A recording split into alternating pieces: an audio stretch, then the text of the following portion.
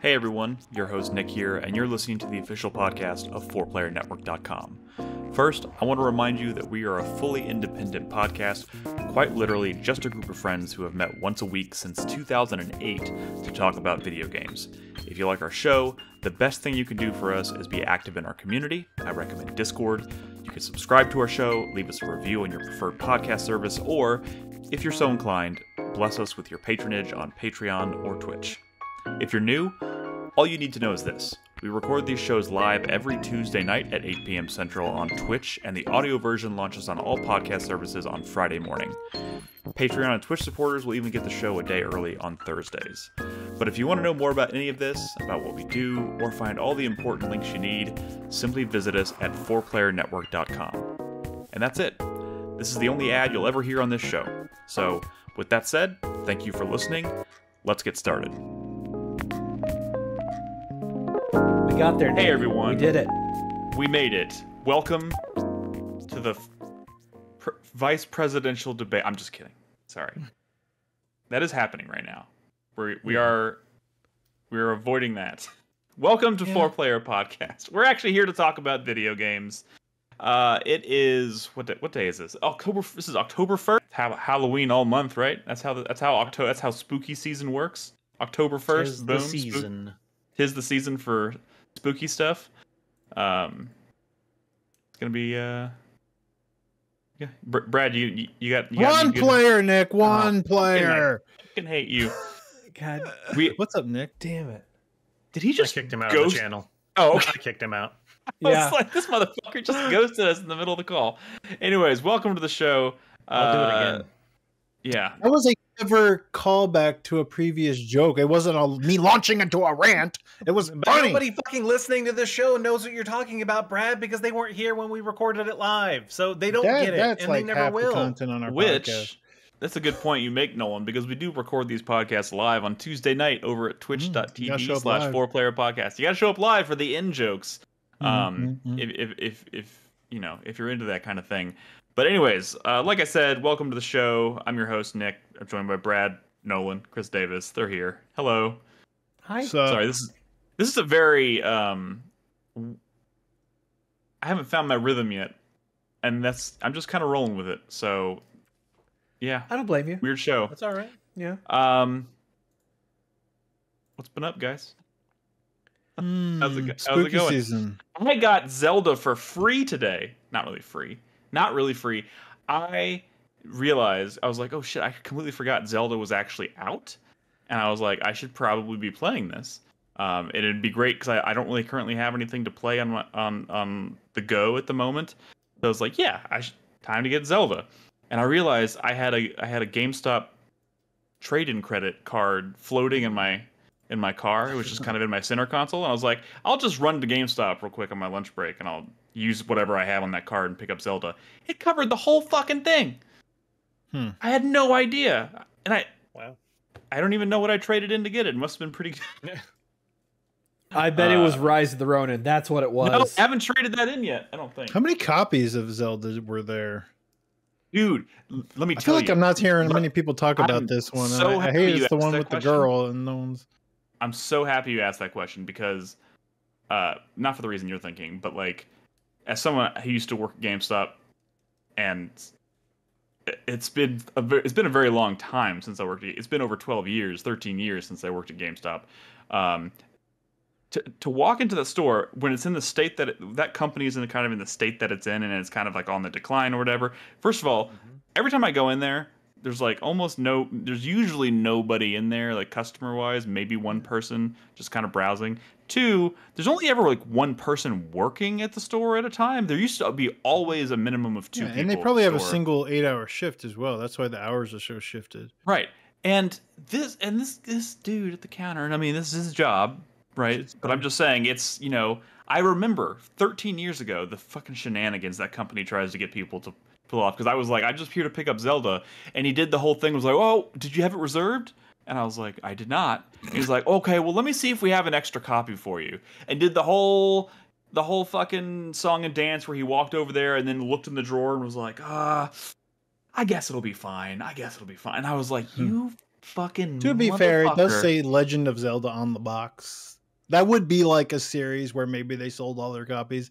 I guess my point was that this one maybe is not. but like, here's the thing: Tears of the, the, only time you ever ended up in cases like that, and No, someone who right. worked at GameStop for seven years, the only time that you you were ever actually potentially out of copies of a game when someone didn't pre-order it was when the game had almost no pre-orders, so they sent you like three copies, and then people show Right. up. All all he was doing was trying to incept Nick to be like, next time Nick's going to be like, oh, they Oh, said they were almost know. out. I should probably pre-order. That's Which all he was doing. It was such bullshit, and I was like, I know, I know that drawer back there is just filled, overflowing with Zelda copies. I fucking know it.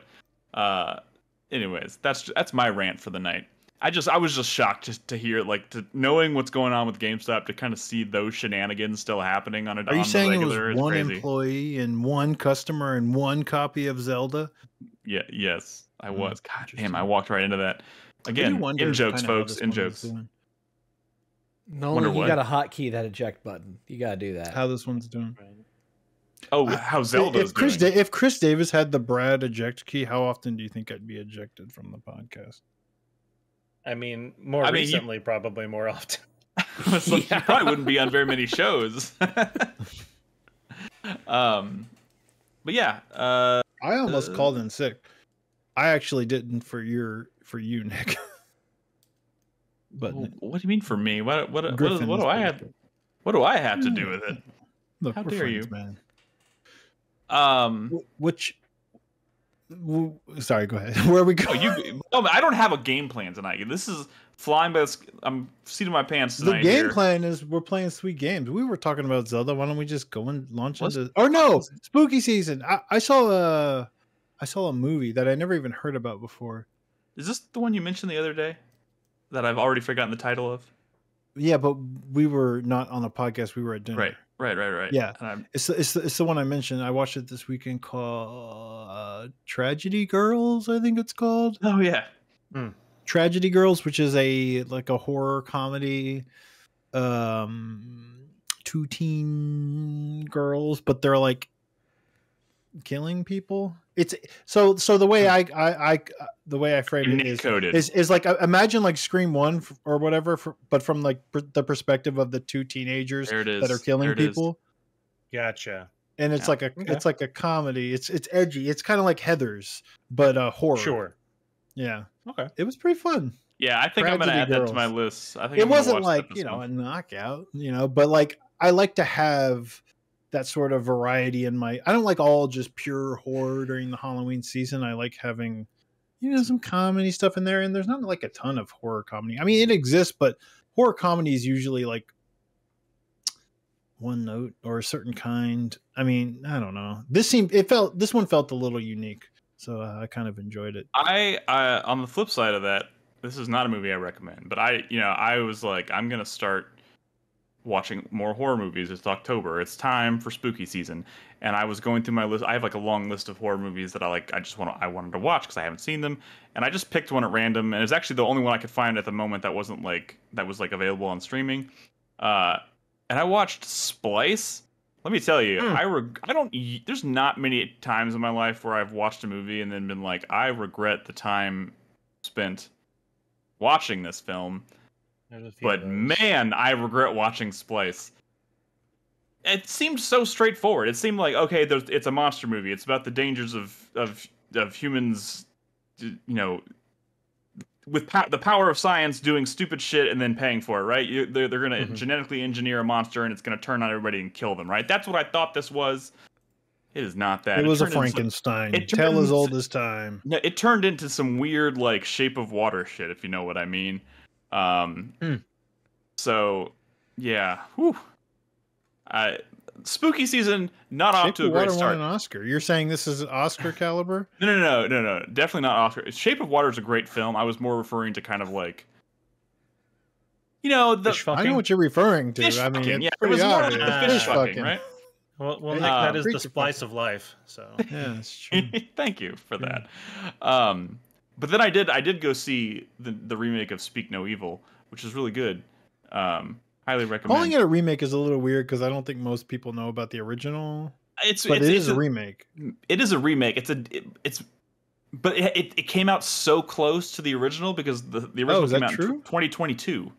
It's been Oh, two wow. years, but the thought the original. I think is Danish. It's a Danish film, so this Yeah. is just the American version, and it's just so close okay. together.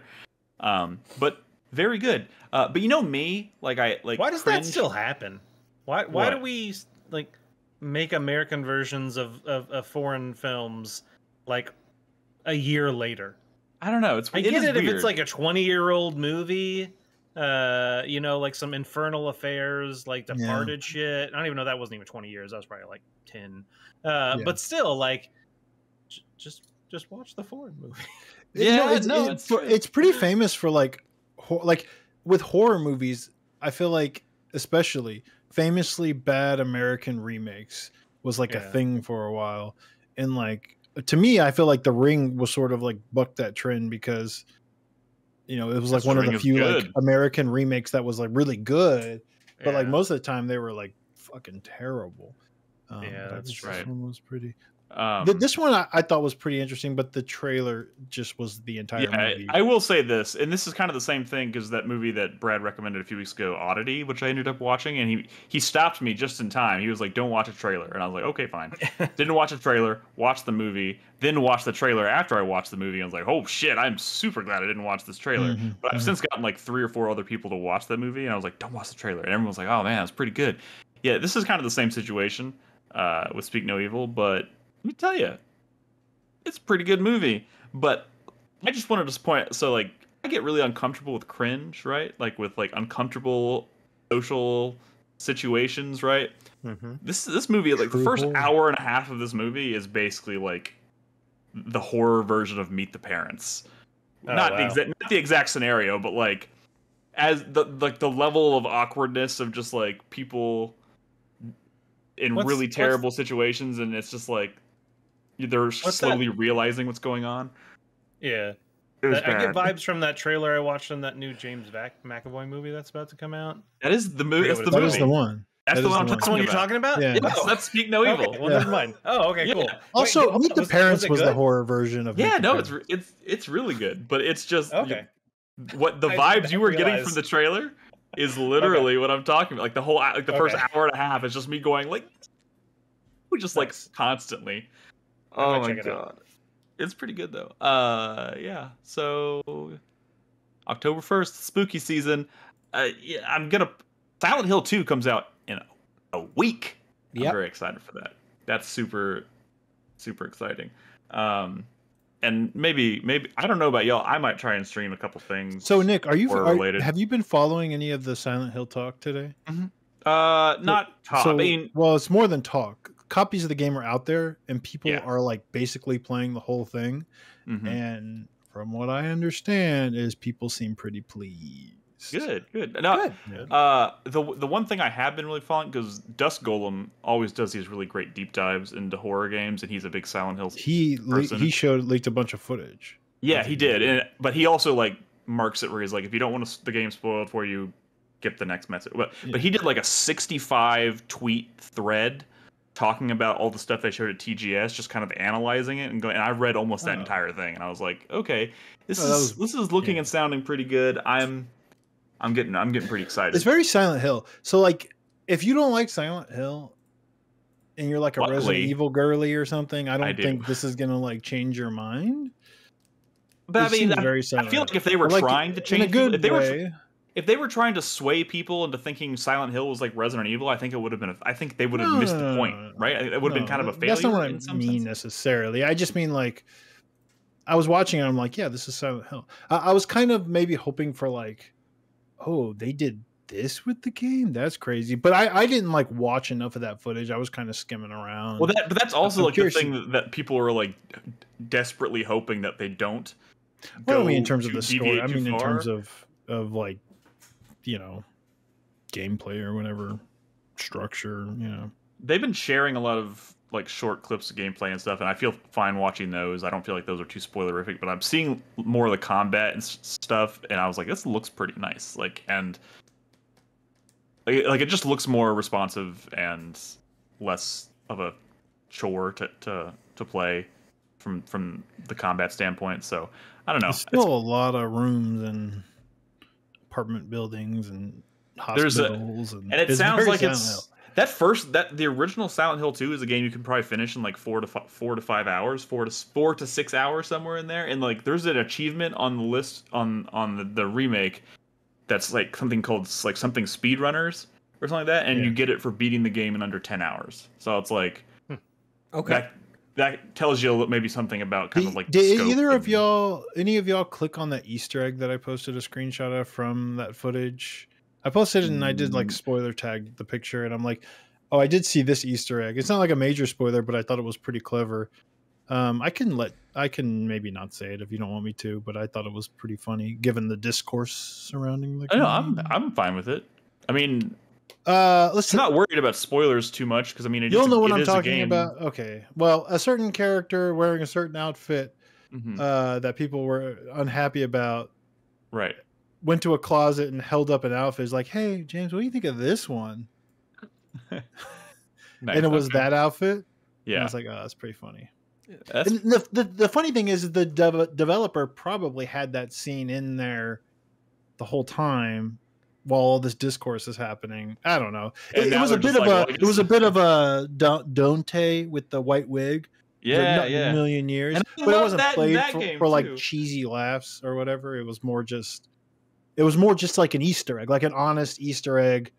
But now it um, has different contexts. less of a joke designed to piss people off, like the Dante one.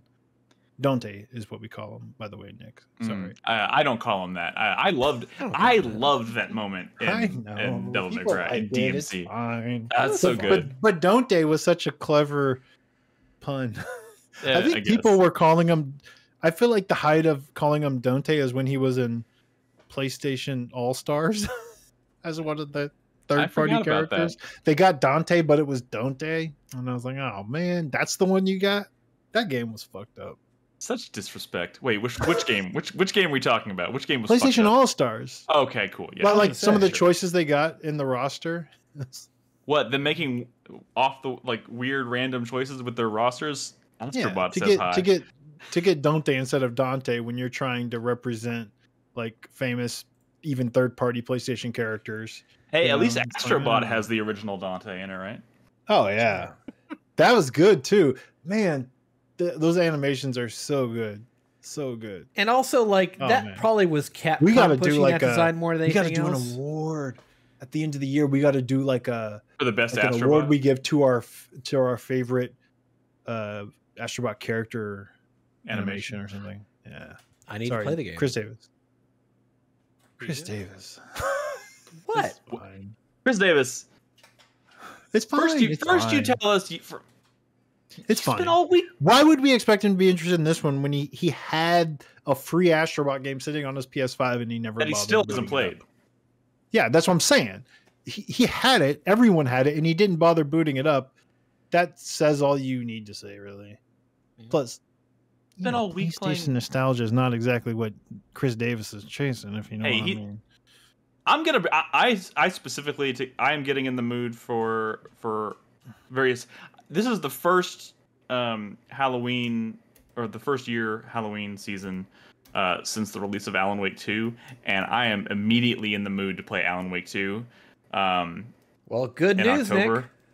Uh, I'm mean- gonna. I have not played Final Draft, and I'm looking forward to the Lake House DLC. So I figured I would start my replay of that here pretty soon. I'm just trying to finish off Final Fantasy VII Rebirth, um, pretty quickly here.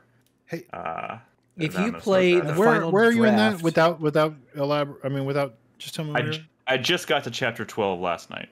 oh, oh yeah. Wait, twelve.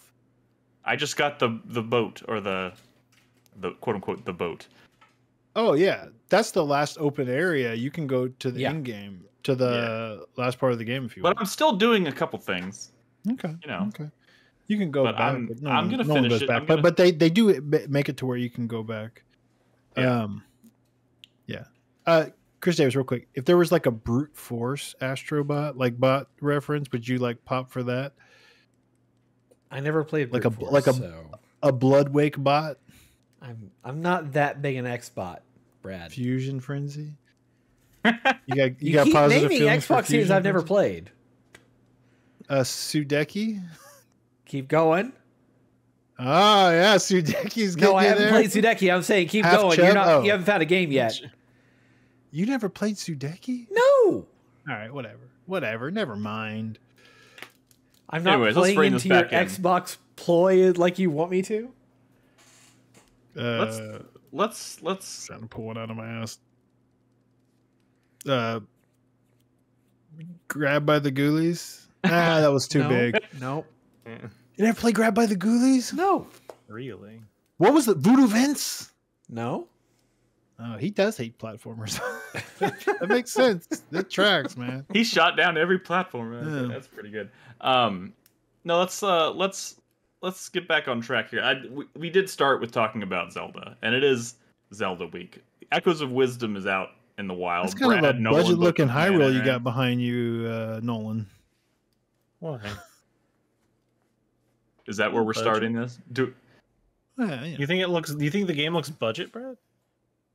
I mean, I do. Well, so so I think there's two classifications of Switch games. I was talking a little bit about this for the show. I think there are Nintendo puts out Switch games, Switch console games, and Switch handheld games. Even though they're both the same system. Remember, this is a studio that a company that used to have a handheld and a console, and I feel like that didn't completely go away when they unified into one system. And like this is definitely the game that would be on the 3DS if you know what I mean uh, while like obviously Tears of the Kingdom is the fucking console game, and it's not. The, I'm not trying to call this a spin-off. you're call, you're calling I'm this just like Triforce Heroes or something like that. No, no, no, no, no, no, no, no, no, no. That's not what I mean. I'm calling this like in a link between worlds, but like this is the handheld game, if you know what I mean. So yes, it doesn't look like Tears of the Kingdom. It doesn't run like Tears of the Kingdom. I mean, maybe it runs worse. What is? Wait, you you're still in that first dungeon. Well, you were did a little bit of the overworld, right? Uh, yeah, I've done I've done some overworld, and I, I did a little bit of exploring after the first dungeon. Yeah. Uh, Nick, you played Link's Awakening. yeah. So this is Grezzo, the same developer. It's got Yes, the yes, okay, fucking sorry. I had to- I issues. Like the like there's streaming issues in the in the overworld. It gets choppy, and I d- don't understand. And Tears of the Kingdom gets choppy, but like that makes sense, right? It's a fucking Switch, and they're doing a lot. This is like more of like a you know, like like like a Pokemon game. It's like This wh- seems like more of an why engine issue, struggling though. so hard here? You know, It's- no, not, this clearly it uses an a different issue. engine. This is like a programmer issue or something. You know, like well, this Of course this feels like a gonna game that didn't need to have that of course these there's going to be some skill level performance there in terms of developer, but I'm just saying like it's a skill issue yeah it's a Yeah. skill issue I mean, feel um, like. first of all, let me just say I I'm, actually I don't know know. that sounds mean I know I'm that not sounds trying to talk but- shit about the developers because they're they're clearly very talented. I'm just saying I mean there's there are different you- factors here that that contribute to the technical performance differences Well- between this and Tears of the Kingdom. Yeah. sure might but be I one mean, of the them. fascinating Pokemon part about this project is this is lately. Grezzo's this is Grezzo's first original Zelda game. Like they're not just that but they're a studio that does like remakes and remasters. This is Mm-hmm. the they're like the Bluepoint like oh we're gonna work on an original game now. Can they make their own bloodborne or whatever the fuck? And everyone's like uh maybe maybe just remake bloodborne one you know? It's like do we want them to do bloodborne 2 this is grezzo doing their own fucking zelda game and i know with nintendo there's a lot of like you know first Support. party hands support and just like maybe some steering you know like with metroid and like MercurySteam or something or you know there's been third party zelda games for decades um Sure.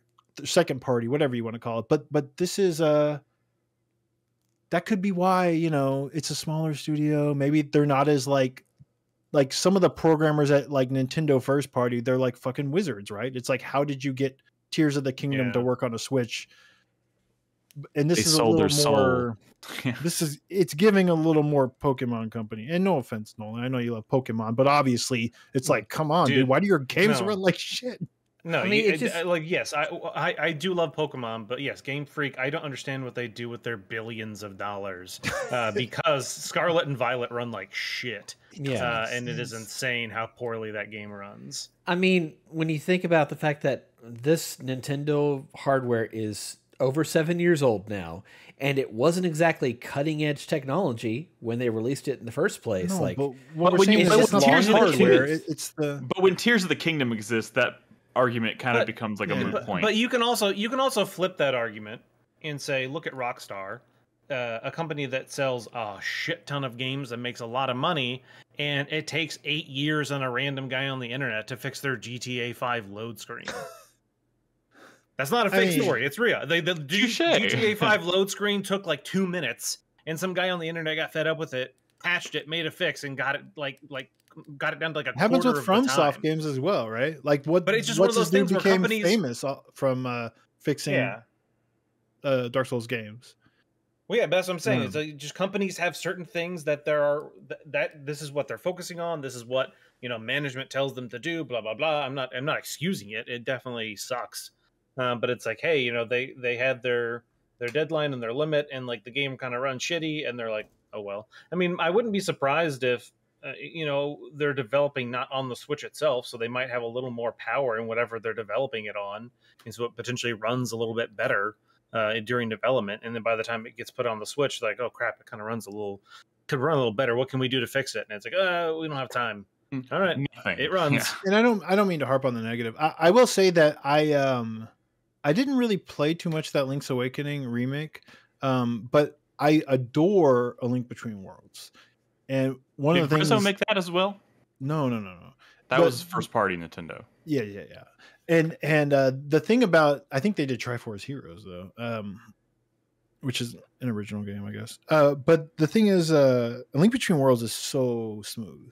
Like in fact like how smooth that game plays and looks and feels is like half of what makes that game so fucking amazing in my opinion. Like it's just such a beautiful smooth game and people were kind of like poo-pooing the art style early on and this kind of shares a similar i feel like it's a little bit between that link's awakening remake and a little bit like um that link between worlds but yeah it is a 2d zelda game or i'm sorry i know nick you have issues with me calling it a 2d zelda game but we mean like an old school isometric zelda game but it has like big breath of the wild energy where we're going to give you like a lot of access to a lot of tools and items and we're just going to let you figure it out. With that said i kind of like uh this little puzzle where i'm trying to get this chest and i'm just spamming beds. I, I, I, i'm in the early parts of this game the very early parts. And like the early parts of like breath of the wild or tears of the kingdom it can be really frustrating until you really like start building the muscle memory for like the ui and, and the way you, So, you interact with Thank- items Thank you for like i'm bringing that up, Brad. still Yeah, so m- myself as well, and you're probably I don't know maybe an hour more, maybe two hours more into the game than I Yeah. am. But yes, I am still. I constantly press the wrong buttons Mm-hmm. um, to pull up the tools and stuff like that to the point where I almost wish I could I could remap them because Oh, it's like clearly sure. my brain wants to click this button to do this and wants to click this button to do that, and I keep constantly swapping them.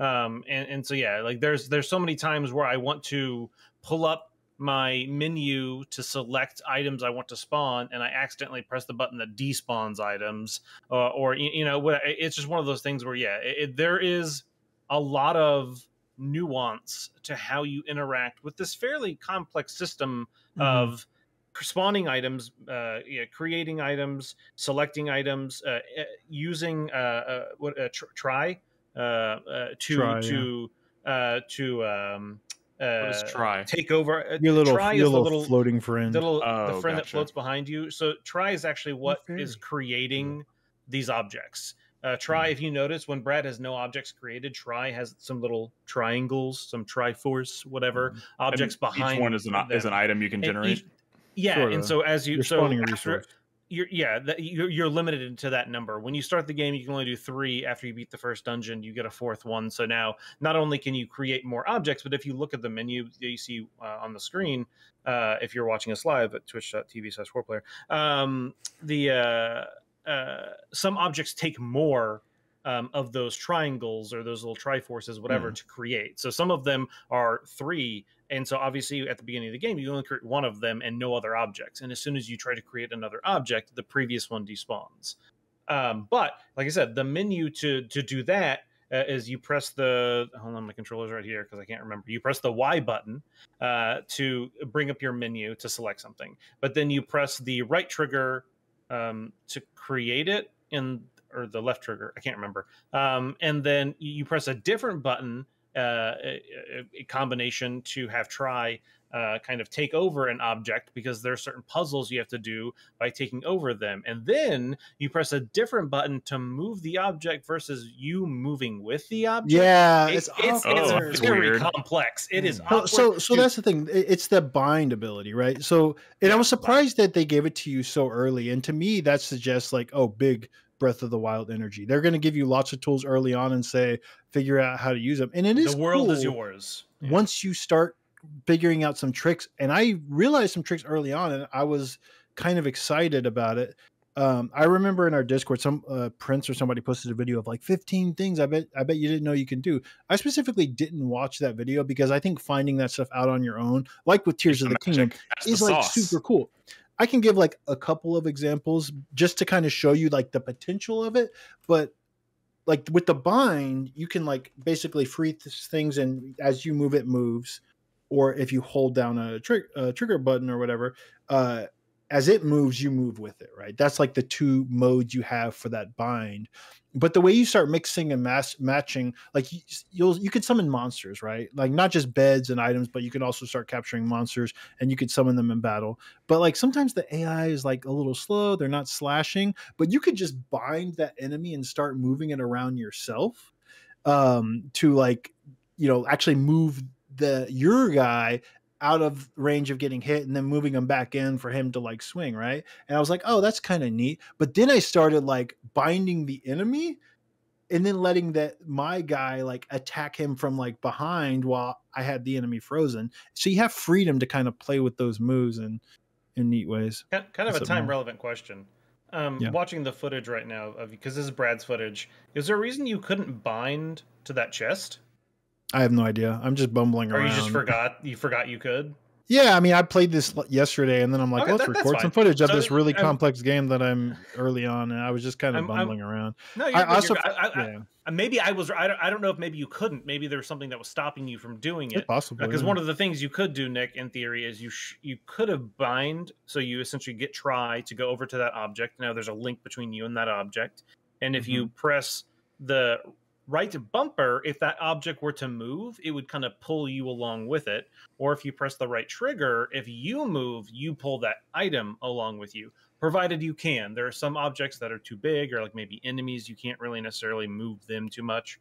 Uh, but yeah, in theory, that sounds like, like, that sounds like Mhm. an ability that if you're not careful could start breaking the game in some pretty.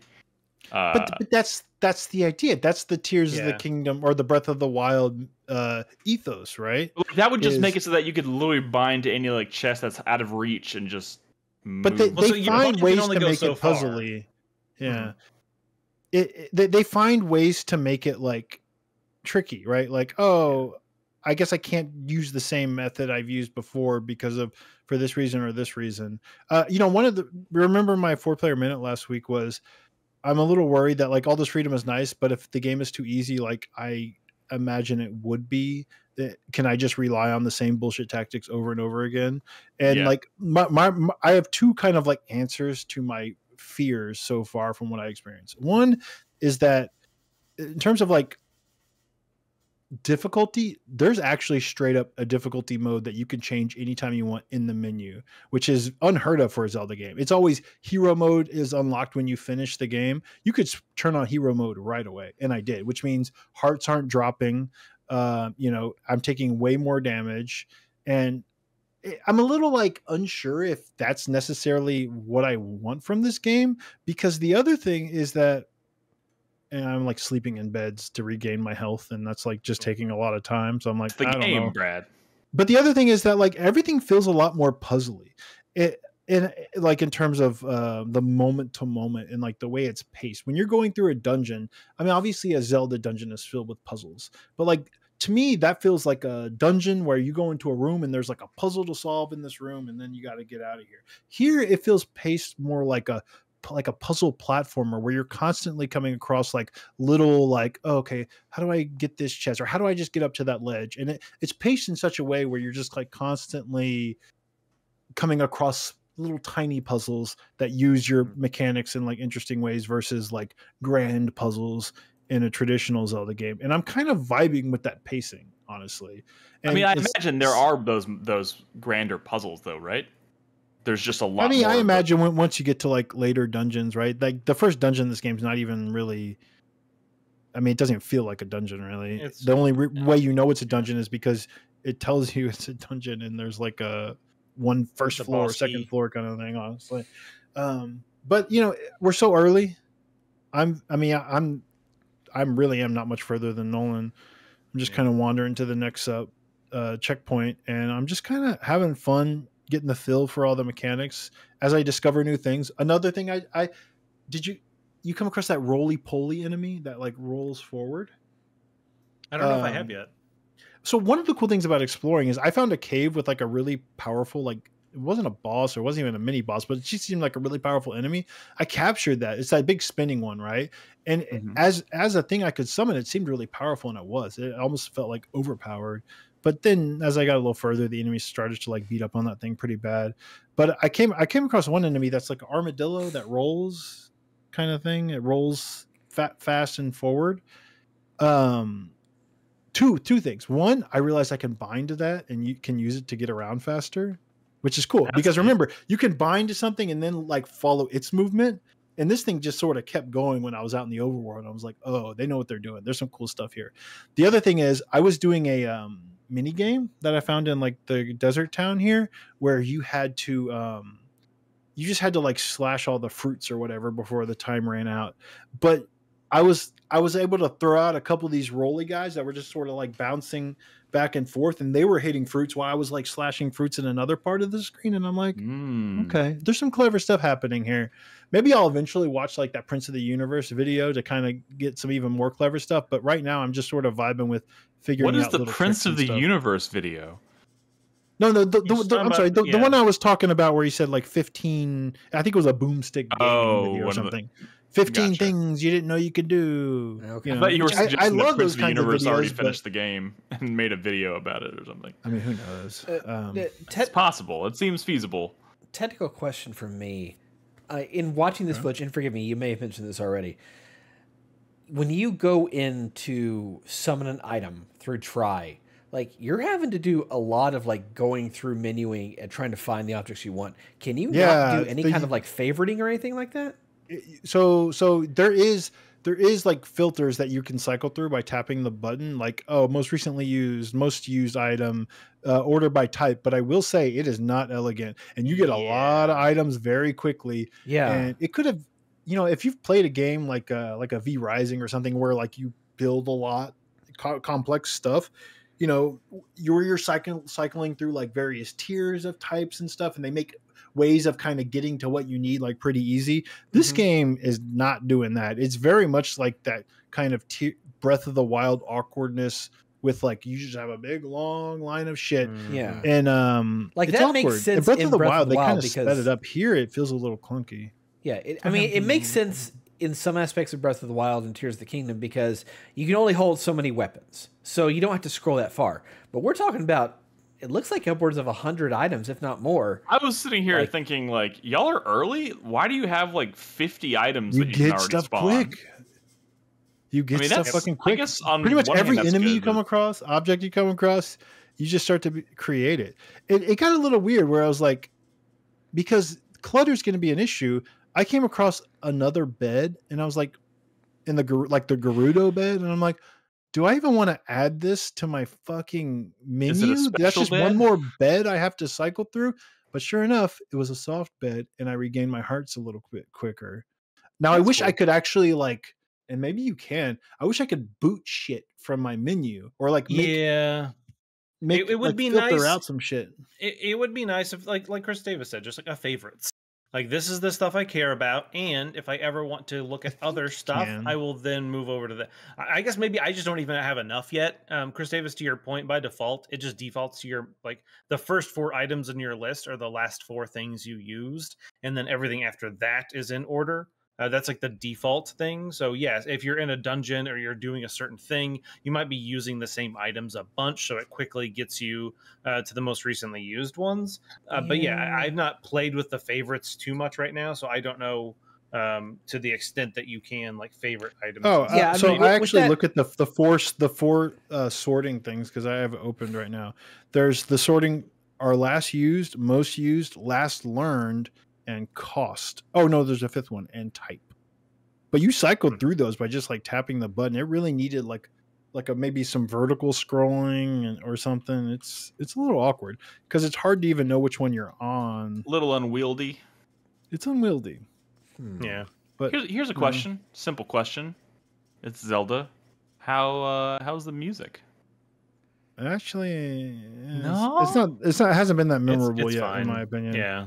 Also, I, I, I agree that nothing uh, nothing about the music has been like, oh, this is amazing. But also, you know, I would think of it more more like, you know, like Brad said, like a Link Between Worlds or something like that, where you're not Is it really in these big grandiose era areas and stuff, and like there's not too many like big cutscenes so far that are happening. I think the music has been fine, uh, but yeah, nothing has been super memorable quite Okay. yet. I will say the Link Between Worlds soundtrack kind of ripped like immediately though. I I really like that one. Um, I realized the other day that Also- I also- bought that game, so I'm gonna. I a might little go get it pretty soon. unexpected, in my opinion, and and you, Nolan, you'll see more of it when you get out of that first dungeon. This game can be weirdly talky. Now I know I'm really early, but I feel like I'm buttoning through more dialogue than the typical Zelda game, which is a strange thing. Maybe it's because Zelda's a princess and she like listens to a lot of people. I don't know, but it's um you know you got to hear the people's No, complaints and stuff. I didn't know No where a princess does. No one's like, I don't know if that's sexist, but it sounds like it might She's be a sexist. political figure. I mean, what do you want? It's it's, it's a Oh, princess. political figure. Okay. I'm saying you got to listen to the fucking That's- people. that's different. We thought you What were you going a different direction. Say, Yeah. oh my goodness. It's neat, but I ultimately I just need to play a lot more. Cool. Well, I'm gonna be No, playing some of this. For sure. well. And, and to for Yeah. what little I've played, agreed that so far I have been enjoying it. It has been clunky. It's one of those things where I don't know if I'm going to, if that's going to become a bigger issue than it has been. Um, it hasn't been too bad so far, but I have way less items than Brad. Um, probably just because I've not been in just like straight up. The the first kind of part of the game is fairly linear, uh, up to the first dungeon. Um and, and then that's when it opens up. And to your point you know yes it does seem like you can probably break a lot of stuff but i think that's why they designed it the way they did is because there's not one way to solve any puzzle. There are half a dozen uh, you know two dozen uh, ways to solve a puzzle. It's just more about kind of getting to it. Yeah when you're in at least the first dungeon you don't really have that many ways to do things and it's pretty straightforward um, but i'm fairly certain there will probably be stuff later on that it is a little more uh, open ended. I've also not watched that video. I've seen some stuff posted, but like Brad, I've also been kind of avoiding it because I do like to um, kind of figure out what I'm doing on my own in these style games. It's it's I find it a little more fun. At some point, Mhm. yeah, I'll probably like Brad look up one of those videos too. I don't know, maybe when I'm you know halfway through the game or something to make sure I'm not doing I really dumb tried or to missing that something. I really tried to avoid that stuff in Tears of the Kingdom for a long time. And I got Mhm. mad. I got mad. I was streaming it once and Jager said, you know, you could just do this. And just like that, it was like instantly, it like, it's like, it's like the first time someone says Santa Claus isn't real. And it's like, well, you know what I mean? It's like, you can't take it back. It just takes a second and then, but you can't ever take that back. Yeah. Is that something you can say out loud in your home and not be Here- worried that it's gonna be overheard?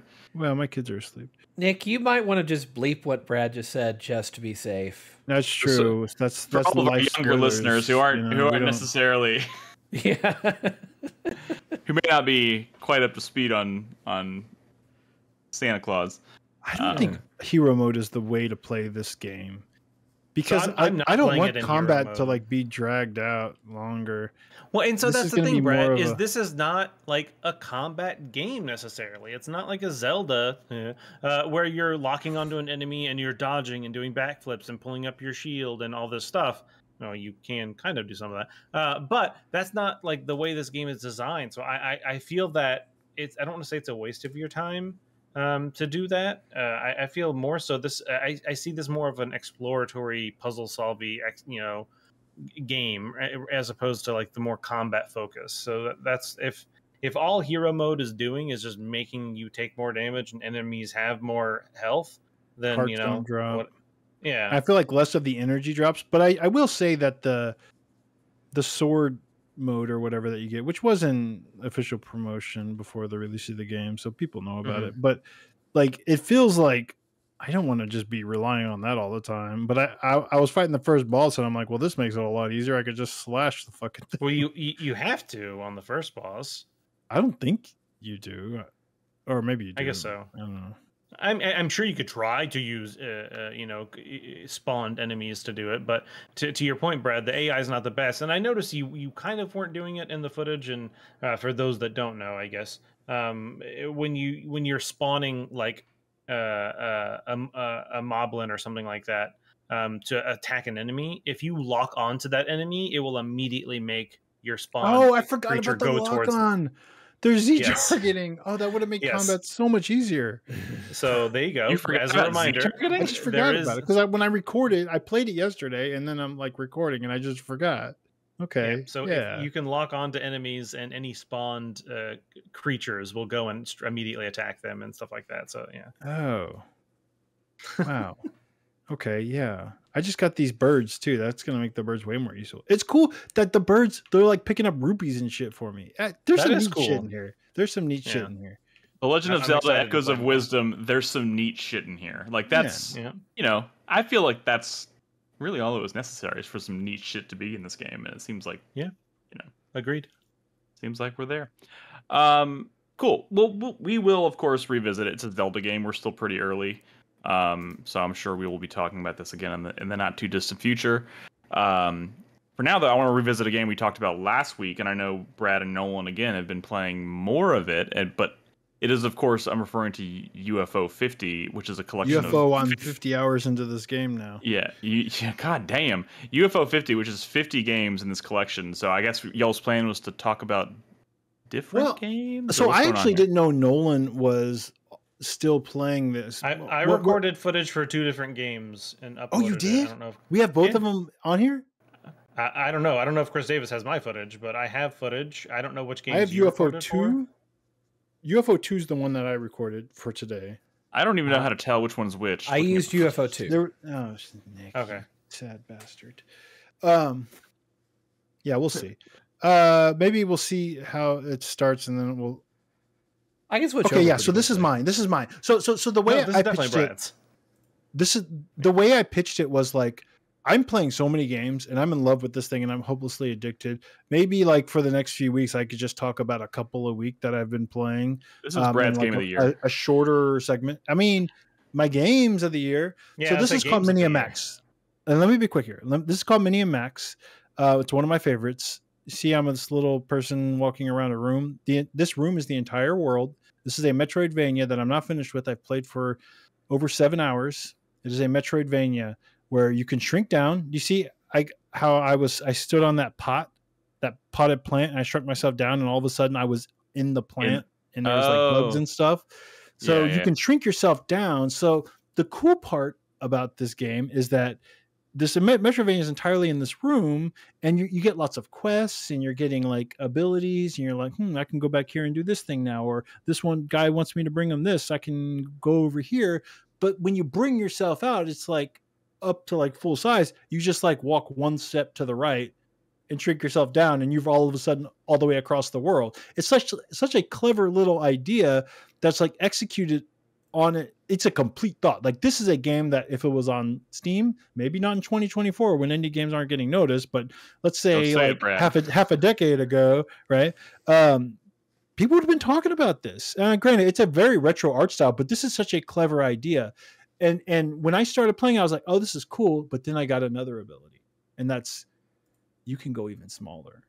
As I was about You to can say, go it micro- did seem like you, you, yeah, you went smaller. So you shrunk down, then you shrunk down again. You can go microscopic. And the Wow. crazy part is, it is still a seamless world. You can go microscopic and like go and go and go and go. And I'm pretty sure the microscopic stuff, you would think that like maybe some of it's like uh, procgen or whatever, but like it is seamless. Like you can just keep going on microscopic level. The world is huge. There's like entire towns that you can find in the world that are like on the microscopic level. It is, and like this is a really smart, sounds like clever a- game. I play a lot like of banger, yeah. Metroidvanias. This wowed me in a way that like the genre, this genre has not in a long time because I feel like everything, most Metroidvanias games are just kind of like Souls like, you know, like Hollow Knight, and I love, I love those.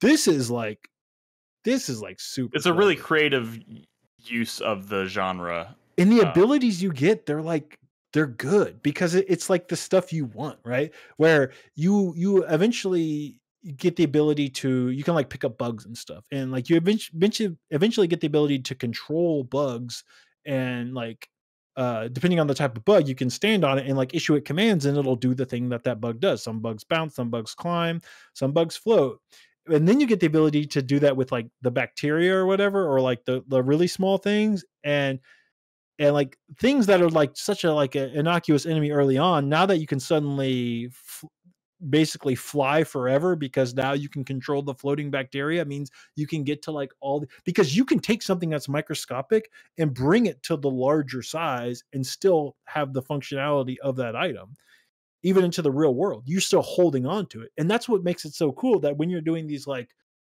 kind of fetch questy like your typical like zelda style like quest of like bring me a tea and you know bring me some tea uh, from the honey and add some honey from the honeybee or whatever but like getting there is so like okay i'm gonna jump up on this shelf and i'm there and you're gonna shrink down.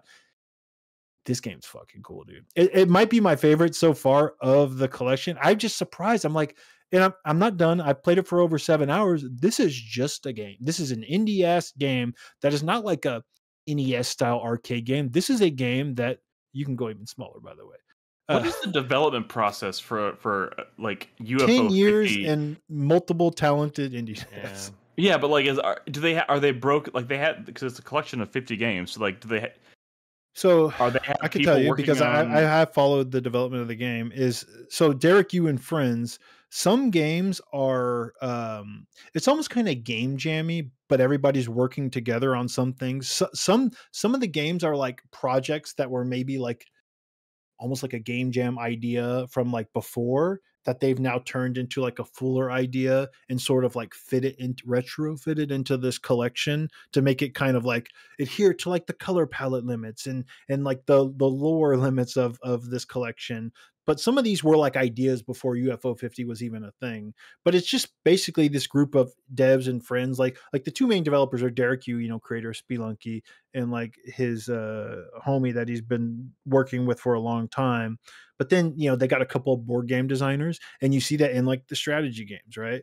And there's like really clever stuff there and like you know i talked about party house or whatever which is basically like a Balatro like last week which is super cool. So but again i don't want to, i think I'm, I'm about to switch to the other footage because uh maybe you could scan ahead a little bit uh tiny bit that's uh chris davis the other game that i want to feature tonight is night manor i believe it's called because you know i did stream this last night halloween vibes horror vibes um go ahead chris davis are you no, yeah, he's it's. I'm watching it right now. you're muted can you skip ahead a little bit He already Uh, did. I We're watching look. Night Manor. oh oh my stream's behind Yeah. oh sorry uh so yeah night manor this is like a full ass point and cl- uh horror point and click adventure game and why is my stream so behind Who knows? uh full on like horror point and click adventure game that I thought was just going to be like combining items, clicking through the things like an old school point and click adventure game. But it it has like a uh, as you'll probably see if you watch the footage, it has like a similar like I believe a real time like clock tower you're being hunted by something in this house mechanic I mean, I think I just saw a killer, like a crazy. Oh, killer. you did. Okay, you did. You did. I get. It. I'm not seeing the footage. Um, I didn't expect that. I thought this was going to be like a, because people said that like it's actually kind of like creepy, scary in this retro collection of 50 games, and um, so I was streaming it because you know Halloween mood, and you know. It's got that good adventure game stuff, but like the thing is, the vibe, the music, it's retro, but it's like scary. And when I unlocked the flashlight, because I wasn't able to go into the second floor because the second floor was completely dark, so I needed to find a flashlight. I needed to find the batteries, and I combined them, and I got the flashlight. But then when I actually went upstairs, and I was my little hand cursor that I was moving around, it was actually like a functioning like flashlight like a And loot, now like I'm moving- light sources. moving like a light source around well a simulated light source around from the flashlight around it all of a sudden it became like so much creepier. Because now things are not in view even though they're in the room with me until i kind of like i don't know what i'm gonna find because i have to slowly move this flashlight around and i'm like yo this is like actually scary. I was not expecting to be scared by a game in ufo 50 you know when that killer arrives the cursor starts shaking and it becomes hard to move. You have stuff in your inventory, like a hook that I found that I now combined with like a stick and duct tape to I think solve a puzzle. But like I could click and drag that hook, or like I found a knife to drag it over the thing that was going to attack me, which in real time to like stun him so I can get away. And this is like an old point and click adventure. So, so to have these real time elements, like right now, or maybe you saw in the footage, I don't know where I am compared to y'all. There's like a hiding mechanic where I'm like holding my breath, and it, it's sort of like a, uh, you know, I got to click in the areas so I don't get spotted. But where I am in the footage, I- I'm seeing the flashlight mechanic, Mhm. and like what I go into a room, and it's like it's creepy because the killer will still pop out in real time while you're like just moving this flashlight around, Hmm. and it's tense. And you The- have the no, only you thing have I'll- no like audio indication of like how close he is or anything like that. Um, so there are things like like I flushed a toilet in one room, and I'm pretty sure that's a way to like bring him to you like right away, Hmm. that sort of thing. There's um, I noticed because the most of the rooms have windows. Lightning will flash, and sometimes the silhouette of a killer of the the killer Huh. is outside the window? window. It, Hmm. and and at first I thought that was just like an atmospheric effect, but uh, to me now what I'm understanding is I think it means that the killer is nearby, um, and it's like a Yeah, kind of like a, the a window. mechanic. yeah, yeah. But I mean, he has to come through the window. But I- I'm, I'm saying like that might mean like in the next room or so he's gonna pop up. So maybe go over to your inventory and have like your knife ready. You know what I mean? Mhm. It's it's clever. I wasn't expecting like stuff that feels. I don't play a lot of like uh point and click games, but to me the, the it definitely feels like there's some modern elements here that you wouldn't have found in a in a in a uh, a point and click game from like back then. And that that's what's kind of cool about this collection is that there is stuff that feels very old, but there's also stuff that just looks old but has some like new cool unique ideas. Not just new ideas, but like legitimately unique ideas. Like has anybody done that type of like Metroidvania where you can just shrink down to multiple levels before because it seems like oh man, how did no one think of this before? That's so smart. It's so smart It seems So so, to- obvious. to find that kind of stuff in the eight, this collection of 50 full games is something honestly I never expected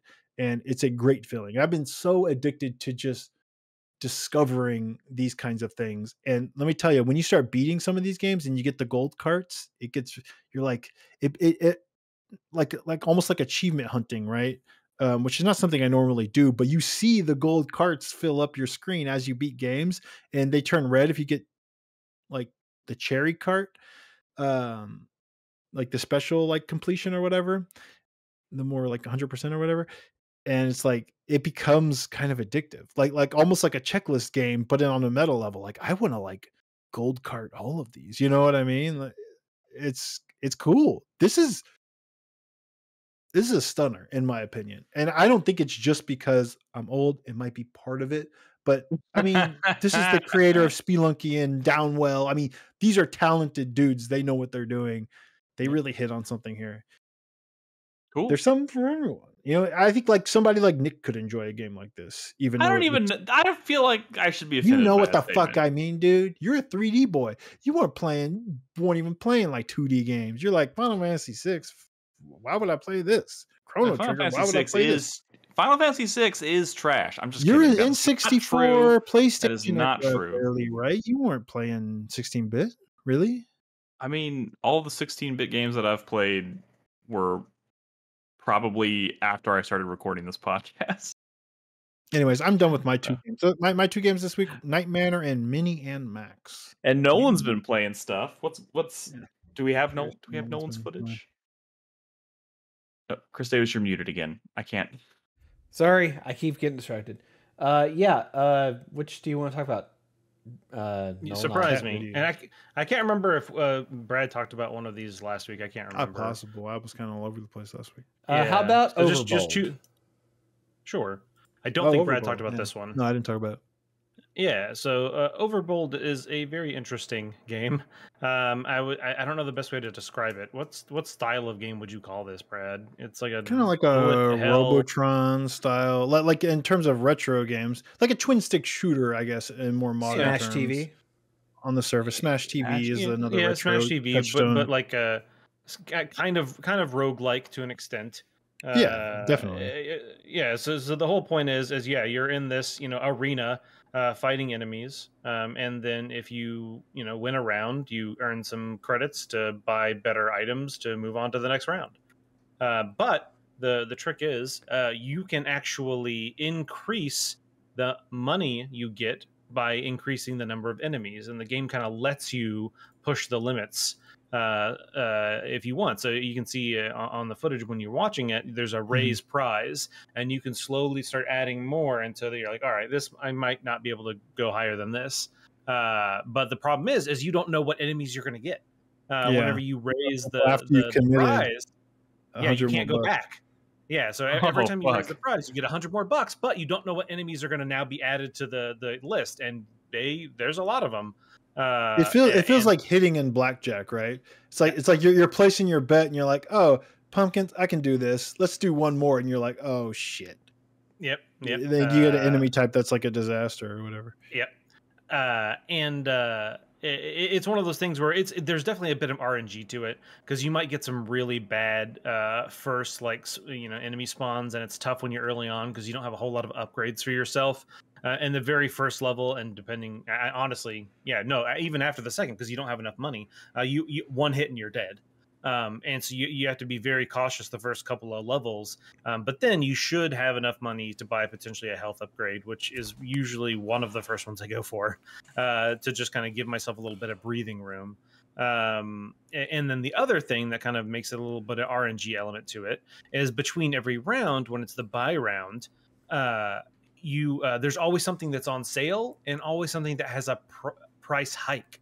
Um, so Mm. you don't know what thing it might be the thing you were saving up for the next round is actually the price has now been hiked and either a you can't afford it or b it's like man do i do i spend the extra money to get this thing now or do i maybe buy that thing that's on sale uh, instead uh, like on this round i'm watching here is the price hike was uh, health health packs which is i think actually if i remember it's the thing i wanted to go for um and health packs is by the the first level of it. Every 30 seconds a health pack spawns and if you grab it you gain some more health and the second level of it is every 15 seconds. Um, so it's very helpful. There are upgrades that it's like oh it lets you take one uh, uh, blast from like a, a projectile weapon or one uh, blast from like a uh, explosive weapon.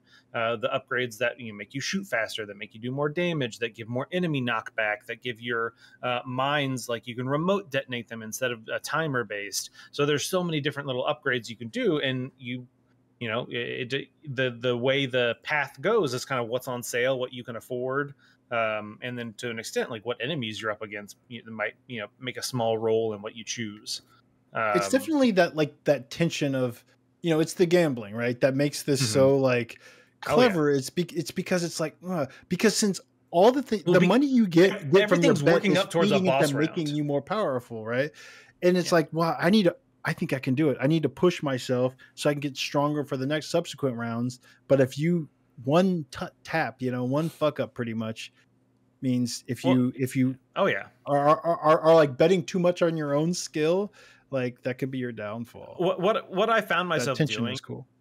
No, for sure. It is the first round that you can bid on. I always bid a bunch on the first couple uh, to kind of get Yeah, myself set up. Because Because, like I said, restart. You can restart really quickly. The thing is, you're going towards there is a boss round. Um, and when that boss round happens, there are a shit ton of enemies, and there is a boss enemy. And so, if you play it safe and you're just doing a hundred bucks each round, you're not going to have enough items and uh, upgrades to to make it to that boss round. Um, and so, you have to like uh, take that gamble, take that chance, uh, uh, to especially early on to, to try to get your setup uh, for success. Um, but this is I- I- run based, right? So every time you Yeah. you die, you're starting over from you the very start from the beginning. very beginning. So to go back to what Brad was saying about getting like the gold carts, like what is how do you get the gold So cart in a game like e- e- this? every game has a different way to get the gold cart. They're not Oh, always so it's not necessarily associated with like finishing the game. Correct. Not well, always. yeah. I mean, Uh, for Yeah. a lot of them. It is. a, a Uh, lot of them are quote unquote finishing the game, but like finishing differs from like game to game, obviously. Yeah. Um, in terms of like how long it takes, and the cherry card is usually where it gets a little more specific in terms of uh, for situational, depending on the game type. Uh, for cherry carding, I have not cherry carded anything, but that's like really mastering a game, and Mhm. uh, but some people get so like and start enjoying these games so much that and they get so hooked on them that they'll go from like gold cart to cherry cart right away because they're just like super absorbed in, into like these Yeah. score based arcadey games this one's cool though i haven't actually played enough of this and i i, I can't wait to get back and and so that's the thing, Brad. Is you know you're you're you're talking. Uh, you talked about what was the other one? You talked about Mini and whatever. mini and max yeah Mini and Max. I've never even fucking seen that one yet, like because Yeah, I've not played bottom. all of them, and Yeah. I've been, uh, I've been, I've been, I haven't been going in in, in chronological or, or a numbered order. I've been kind of jumping around, but I Yeah. kind of choose one, play it for a little bit, see if I like it, and if I like it, I keep going with it. Now, I did take some of your recommendations from last week and started with those. Um, but then yeah, I've just been kind of jumping around. And so like that one that you were just talking about, the mini max one, seems like it's a lot of fucking fun. And I'm like, well crap, Mhm. now I want to play that one. Um, but you know, I've gotten not far enough at all uh, in in uh, in Overbold, so I want to play more of that. Uh, but man, there are so many there are so many good games in this in this. everything bundle. feels so different that's what's By the so way, cool about it. Mini and and, Mini and, and they Max definitely is a- made that their their like you know their motto or whatever or their their design doc or whatever was Their to have 50 games but have nothing that feels too similar to anything else Yeah. just cool. just quick note. Mini and Max, great fucking title. Oh, yeah. max For is the, the- dog which you can summon the dog anytime and like you even get upgrades to the, for the dog which i didn't have a dog in my footage for like story reasons but i don't want to get into that okay. So what It's else cool. have you playing in here, Nolan? Uh, so the only other one I have footage of, and I can't remember if Brad did last week or talked about it. I think he might have talked about it. Was Pilot Quest. Did we talk oh about that no last week? I, I don't think i did but pilot quest yeah I, I i talked about it i don't think i had footage Okay, cool. So yeah, not so much. Pilot Quest was the one that Brad had recommended I start because um, there's a bit of a uh, a- clicker or a um, idle game uh, yeah. what's it, uh, idle uh, aspect to it. Um, and so when this game starts, you can't really do much of anything because the whole concept is it's very you know like oh you, a pilot you've crashed on a on a remote planet and you're trying to fix your ship so you can leave. Um, but the interesting you know twist with this game is there's no there's not really a concept of health um, or rather the concept of health is all based on time. Um, and so once you collect enough moon shards which the only way you can collect them early on is by just smashing that crystal that's in the middle of the area over and over and over and over a which you lot. only do like Uh, well, once, correct. You, you have to you have to do it a lot to kind of get the game going, um, and Yeah. then you can give them to this tree, and he'll plant a seed, and that seed grows a plant that will start, you know, idly producing crystals for you, um, and stuff like that. And then you can once you have enough crystals, you can build a little house, and that will invite a person uh, to your area. And once they're living there, if you get enough crystals again, because you do kind of need to smash a lot early on on that crystal, um, you can create a workbench, and they'll start crafting um, ingots uh, and, and so it's it, it's this whole thing where it's an exponential growth thing. Uh, but Like um, as you clicker can see here, when Yeah. yeah, no, it is very much like a clicker or an idle game. Uh, when I went into the wilds, um, I had a bunch of meat that was in my inventory, and that meat essentially gets converted into time. In this case, I have three thousand seconds of time uh, to explore the wilds, which You're is a long in this than time.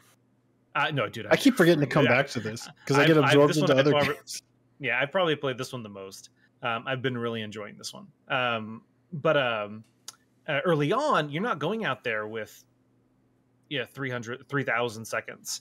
Uh, You're you're going out there Three with yeah, if even like 300. But here's the Yeah. thing: it's like I said, there's no concept of health. Every time you're hit, time gets taken away. So whenever you Time get is hit by money, an baby. enemy, Okay. yeah. So depending on the enemy, you'll get taken away for 10 seconds, 30 seconds, 60 seconds. Some enemies will knock And the game minute is a- off of your time. Is the Mhm. is it game over if you run out of time? So Yeah, if and you, you lose everything if you, you're if you run out of time, you lose everything you gain during that run. Oh, that sounds so stressful. early on, it is super vital that you're just doing these short trips, these short trips, uh, trying Right. to get out there and earn some resources, earn some resources, uh, because then you bring everything back and you can start pumping that back into, um, uh, you know, the guys who are, like I said, building ingots in your base. Uh, you know, uh, uh, the adding more uh, uh, plants that are idly creating you these moon shards, um, because then you can take you know it's once again like those idle games like those clicker games you have to reinvest in yourself and so it's when do i spend a little more time not using my resources so i can buy an upgrade to make my resource gathering process faster This is. uh, so i I think your world's different than mine. This is a proc gen world. Um i didn't know that if it is Yeah, this is not. At first, it looked like my map, but it was like, wait a minute, this is not my map at all. oh i, I, didn't know that uh, that's pretty cool if it is uh, like procedurally generated um but yeah so there's um you know you're gathering all these resources you're upgrading your little like yo-yo uh, which is your primary attack and eventually you get uh, a blaster uh, which does less damage than the yo-yo but um, it doesn't have bullets it uses your uh, moon shards as ammo so now you're trying Oh. you're, you're using your resources that you're trying to gather to try to like a, like uh, a Metro survive. game. Your good Yes. bullets, or is your Yeah, good exactly. money, or whatever. I appreciate the reference. Um, Thank you, Brad.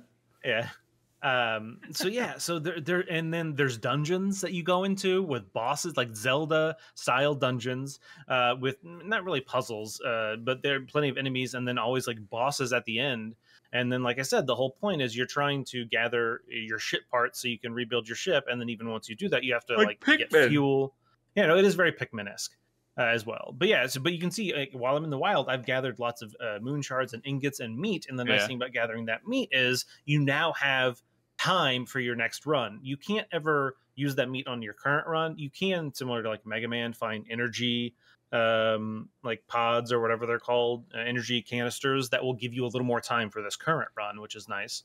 Uh, but for the most part you're trying to essentially gather resources for taking back to your base to upgrade stuff and then to um you know convert into other units. So you can turn moon shards into moon ingots. You can uh, you know uh, a, a hundred moon ingots gets you one science and then you use science to uh, with in combination to to upgrade your stuff. So it, it is very much um, One uh, science.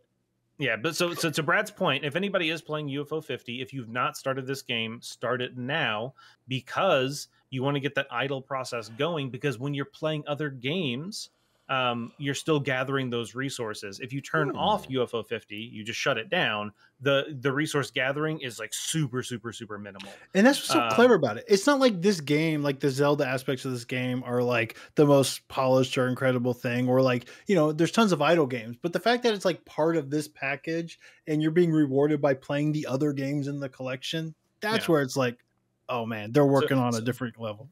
So for a while what i was doing early on especially because like i said early on your your resource gathering is so slow in this game is i would kind of do a bunch of stuff go play another game for a little while. Once i either got through a level of that or kind of finished that or maybe got over it i would turn it back off come back to this to check on my resources because early on a limiting factor is you have Your caps. yeah. limits to the yeah you have caps to your resources so you can only have 500 moon shards or something like that so you do want to go back to it every once in a while uh, so that you can spend those resources and, and re- reinvest them um, right.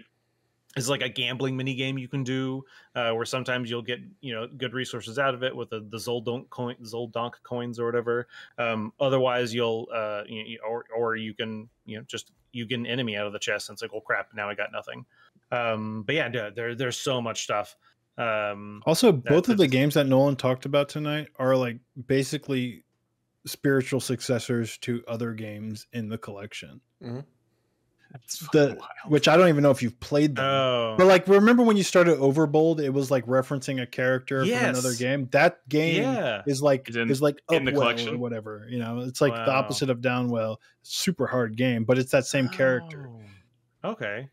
Yeah, That- and, and again, a couple cool. times you've mentioned this, and for anybody listening at home, like you, you've kind of just casually m- mentioned the lore of UFO 50 as a collection, and that's what you're referring to because we said this last week. We didn't really specify this week, but like this, what's really cool about this collection is that like all these games are built within the within the rule set and the confines, the the fake confines of like a piece of hardware that doesn't really exist. They've just like Mhm. made everything up and like they've made this tech that exists in this in the con like in the world of UFO 50. So all of these games are built with the limitations of that hardware in mind.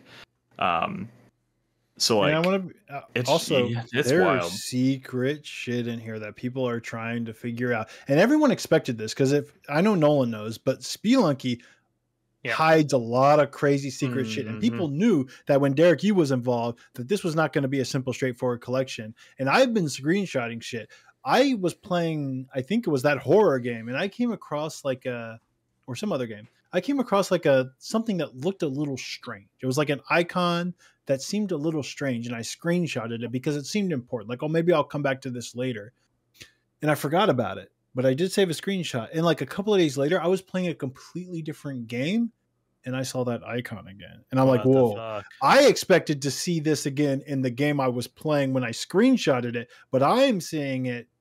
Dude, you know what this is in where this I is- enter the code in another game, and I'm this like, is giving whoa. me I know you're gonna roll your eyes, but this is giving me tunic vibes, and I'm No, no, for Yeah, sure. kinda Uh, here the- for it. I, I can It- definitely it is see that, sort of larger puzzle. So yeah, I mean, I, mean, I, it love that shit. Like Or that like honestly is like the thing. or like or, or like uh yeah, or like What Spelunky or whatever. you What was know, that like- game? What, what, was- uh, what was that game earlier this year? Uh, Animal Well. Animal Mm. Well, yeah, very Animal Well as well. But uh, but yeah. So I wanted to quickly also just briefly mention because I don't have any footage of it, but we did talk about it last week. Brad, I played a lot of Party House. Um, Mm, uh, yeah. That game is a lot of fun, uh, and I think Brad, in reality, he only scratched the surface of that game when he talked about it last week. Because what he was talking about, I'm like, oh, that sounds pretty good. But then I started playing it, and while I think he did a good job of describing that first level where you're trying to build up your popularity, about balance out earning money and stuff like that, when you start getting into those later levels, holy shit, the type of like um systems you need to uh, uh, like The to complexity. use, the complexity because it's like you're never going to earn enough resources by just inviting people to your party and then not getting um too much trouble. Like you have to there are like certain party goers where their ability is kicking everyone out. And at first it's like, "Oh, why would I want to kick everyone out?" Well, it's because there are other people whose abilities is refreshing other people's abilities. So you'll mm-hmm. get stuff where you have like a paparazzi and when you use them, they they immediately earn you the popularity and money from certain characters. So it's like great. Now I've done that, but then you But it is so clever, right? It's because they're taking pictures of people at the party, and I guess they're like uploading them to their social media. That's why you're getting the score during the party as opposed to the, Yeah. when the party's over. The writing, I mean, like the car, the character types are fucking hilarious. I Oh, think dude, yeah, like- like ingenious the way they turn like a the idea of like this type of party core into a mechanic and how it makes so much sense and it's hilarious. I love it. I love it. Like like like like like you said, there's like a couple of characters that'll like basically do a reshuffle, right? They'll they'll Yeah. take all your cards and put them into your draw pile. The and what, what it says is like they'll move all party members outside. The grill master does that, of course, because he's Yeah. the grill master and the grill and the burgers are ready. And then like the the basketball player or Basketball. something. Mhm. Uh, The the because you know he's playing a game and everyone wants to go play hoops with the basketball athlete. It's yeah. like so clever. I love it. Uh, dude, it's a yeah, that, that that that game is, and maybe you, I don't know, maybe you, you just hadn't played enough last week when you talked about it, Brad. Which is Oh, since then I've gold carded it and I'm working on the cherry, which is I believe six in a row without losing. S- Are Oh all my six of the scenarios without losing, which is so- which is Oh, Oh my god, this game's got y'all hook, line, and sinker. Holy shit! dude, it's good. It's a good It's ass good. game. And- Mm, and- are and, you know, either like playing said- this on Steam? Yeah, both Yeah. of us are. Cool. So I I, ended have up buying to it because Brad kept playing it, so I wanted to play it. Oh, so I ended up so th- buying it. This is the My, brilliant part. my Steam wait hour count is wrong too because I, I was playing in offline mode, so I could play the same time as Nolan. Yeah. But I do like the family sharing. Yeah, that is pretty Yeah. fun. Um, cool. You still got to yeah. send me that Yeah, th- friend, family invite there, Brad. Oh, we should we talk about that on the podcast? Are you What do y'all or are you saying? Are you saying We should have one more talk about it spot or in our family. We have one more Should we spot in talk our about family. it or should we keep it secret? keep no, it it's safe. not. Oh yeah, we have one more spot in our family. Brad wants people to bid on it. Well, I, it's the. I mean, Chris Davis wants in, and he makes sense. But for years, he's kind of like spurned our library sharing requests, right?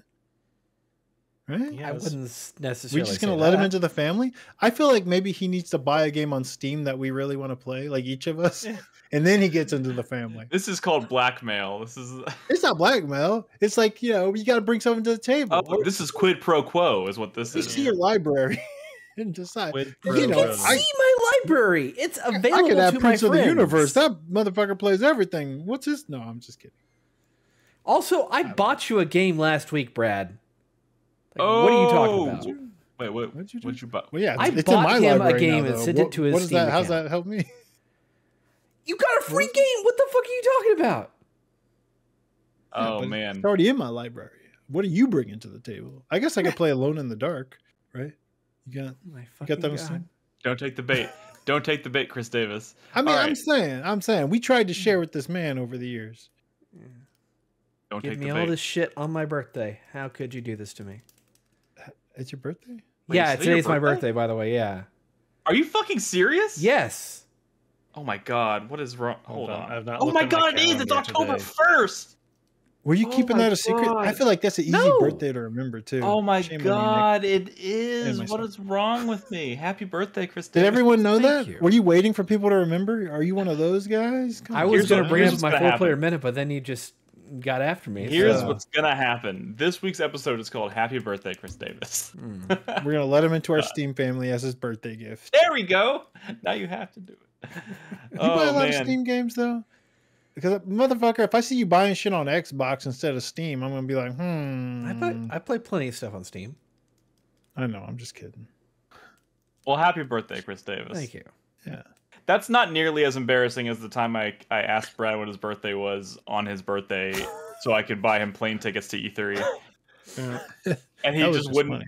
And he just wouldn't tell me. He he was just like, mm-hmm, mm-hmm. I was like, Brad, seriously, I need to know your birthday. And then finally he was just like, motherfucker, it's today. Yeah, that was pretty funny. Oh, it's- I'll never, I'll never live that down. Anyways, um, Chris Davis, Yeah. you you you did say you've been spending most of your week playing games that have been out for 20 years. Yes. Um, Yeah. what would you like to say about that? Uh, Saturday for the anniversary, I played uh, th- uh, through the GOG version of Resident Evil 3 Nemesis. Oh, that was Um, the anniversary. That's why you did that. Okay. It, it's was not like, that's random. technically the anniversary was like a week or two ago, but Resident Evil 3 starts out on September 28th. That's like the first line of the game. Mm, telling the that is date. true. So like a lot of people just played on that day called the anniversary, and that's what I did. Shout outs Okay, to okay. a guy named Ace in the YouTube chat. Like he was with me through the entire stream. I beat the the game all in once, uh, and he was providing me hints and details and a lot of help. Wait, you need a lot of help. I mean, isn't that your favorite Resident Evil game? It is. It is. My my my thing about the original Resident Evil 3 is that whenever I played it, I never fought never Nemesis finished. except for like the primary boss fights with him. So like Hmm. I was having to like learn how to do the Wait, proper dodging people mechanics. Fight Nemesis outside 'cause of you- the boss boss When you're fights? being, you can Yeah. kill oh, you can. upgrade. Yeah, yeah, yeah. Never mind. Yeah. You're right. You're right. You can. You can like take them out temporarily. And You've done that have stuff. reprieve. It's yeah. It's been a while. I forgot you could do that. No, yeah. There was. no, Chris Davis. I feel like he's talked about. No, I've I've That. never done that in like the original game. I did it in the remake plenty. Um, but I, Mm. I Yeah, because I didn't understand the the the reaction and dodge system in the original game. It's not very well explained to you. Like I never engaged in it. So whenever I was calling it fighting Nemesis, I ran away. In recent episodes, we have learned that you had not finished Resident Evil 1 or Resident Evil 2. You had finished Resident Evil 3, though, right? I had finished Yes. Resident Evil 2. I I remember nothing of the game.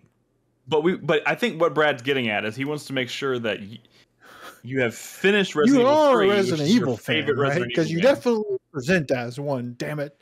I I mean, when Resident Evil 1 came out, I was like 11 at the time. So like it creeped me the fuck out and I stopped playing. Well, sure. Yeah. That's why I didn't But play you- but you- Hill One. back okay. in the day. a game that was actually scary. What, Wow. what was the other game you, you you played this past weekend? Uh, well, what I've been playing, uh, and. I should beat probably tomorrow, is um, the uh, Master Collection version of Metal Gear Solid 3. Um, Oh. They Oh, Konami released a 4K update for the game. Um, so Mm. the textures are considerably better, and they did a lot of bug fixing. you couldn't just wait for the remake. I mean, it's fine. I mean, No, it's- I- I wanted to, like, have that basis have of release date comparison. yet. God damn it! Yeah, I, I mean, wanted that basis of comparison because I mean, the last time I played Metal Gear Solid 3 before this was probably but 10, 12 years ago when the HD collection when's the came last out. time you played uh, vanilla though?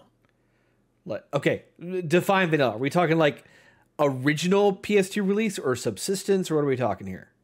Vanilla it means 1.0. Yeah, Oh, Original. Snake Eater, probably when it came Yeah. out. Same. Because no one goes back to that version, right? Because why no. would you? Why? Yeah. No. Why would you? Yeah, Yeah, it's a. I mean, the the top down camera, it was just it aged like milk by comparison with Metal Gear Solid 2. Yeah. yeah. Yeah. But the the cool thing about my playthrough this time around was that uh, I started doing some mods. So I first mod I did was I removed the piss filter, so the game looks a lot better and prettier, in my opinion. The piss filter. No one's giving you serious Disagree. side eye for calling it a piss filter. Disagree. Give me the piss. That's Okay, a quote for the ages. I love That's it. a, that's Um, a stance. Uh, also, there was a mod to What- incorporate What, what is the that crouch walk called, mechanic. Huh? What is the piss filter removal mod called? I'm, I'm, I'm kind of. I want to look at some screenshots. I'm curious. Uh, I uh, no green filter or whatever it was called on, on Nexus mods. You'll you'll see it. It's uh, it's literally just you you you tap a Green a tint hotkey. remover. Yeah, there you go. It's it's very light, but I I appreciate it. So, um, the other mod that I really wanted to do was uh somebody found a way to insert the code for the uh, crouch walking mechanic from the 3DS release of the game and put it into this. Mm, That that is nice. That is So, nice. I have been using that, and it is Man, what a really game useful. that has so many different You can versions. and it's essentially like, do that in the new one, right? Yeah. Yeah, yeah. Is there even a benefit to that though, with the way that's designed? Well, I mean, Uh, yeah, when you're it- crouching, you you move a little bit faster than when you're increases your crawling, obviously. But more importantly, you Yeah, keep that's- your Oh, okay. higher camo index. Yeah. Uh, okay. Also, Yeah. I prefer the piss filter. I'm not gonna Okay. lie. To each their own. Well, Nolan it's is- the artistry, Nolan right? is you know, pro piss. I mean, some people believe me, one of them, that like Shadow of the Colossus had a certain look to it that kind of went away with the remake, and I miss it. You know, the what's it's it's that Well, whole thing that's been making the stuff. rounds lately. That someone's like, "Oh, I redid Whiplash, but I removed the yellow fil like tinting." It's like, yeah, but you also removed all of like the aesthetic and the feel, and like it it it looks The bland now. Yeah, exactly. yeah, Yeah. To each their own. Yeah. Yeah. So I so I So just you're, beat. you're gonna finish that up. Oh yeah, I'm I'm in like the forest right before you fight the boss at the end of the game. So Mm. I will finish it. Which in boss? Ready like- for that. Get ready for that sick ass boss fight against uh boss. Yeah. Well, The I, boss. Um, the boss. Excuse me. Sorry, Sorry. I sorry I looked the at boss. the the the boss. You know, there was one thing that they did going from vanilla Snake Eater to Subsistence and the HD editions that I completely disagree with. When you killed the boss at the end of the game, the entire field of flowers changed color. They're only a set color in the versions after Snake Eater. So you missed Oh. that you, you missed that visual mechanic. I I really thought that was kind of a beautiful moment there. A visual was it not a mechanic, but a moment, of, right? Yeah, Was it it was mo- it was a real time effect that happens. Okay. Yeah. Cool. Um. oh, yeah. Cool. But But Those it- are both it- great games. Yeah. It's it's And get good to have that frame of reference for what to expect from uh, Delta Snake Eater because I'm I'm really hot on that game right now. I am so excited for it. Yeah, no, it's gonna be great. I was really surprised we made it through TGS without a re- release date. I'm not, I wasn't necessarily 100 percent convinced it was coming out this year, but I thought we'd at least get the date or like Yeah. the window. Nothing.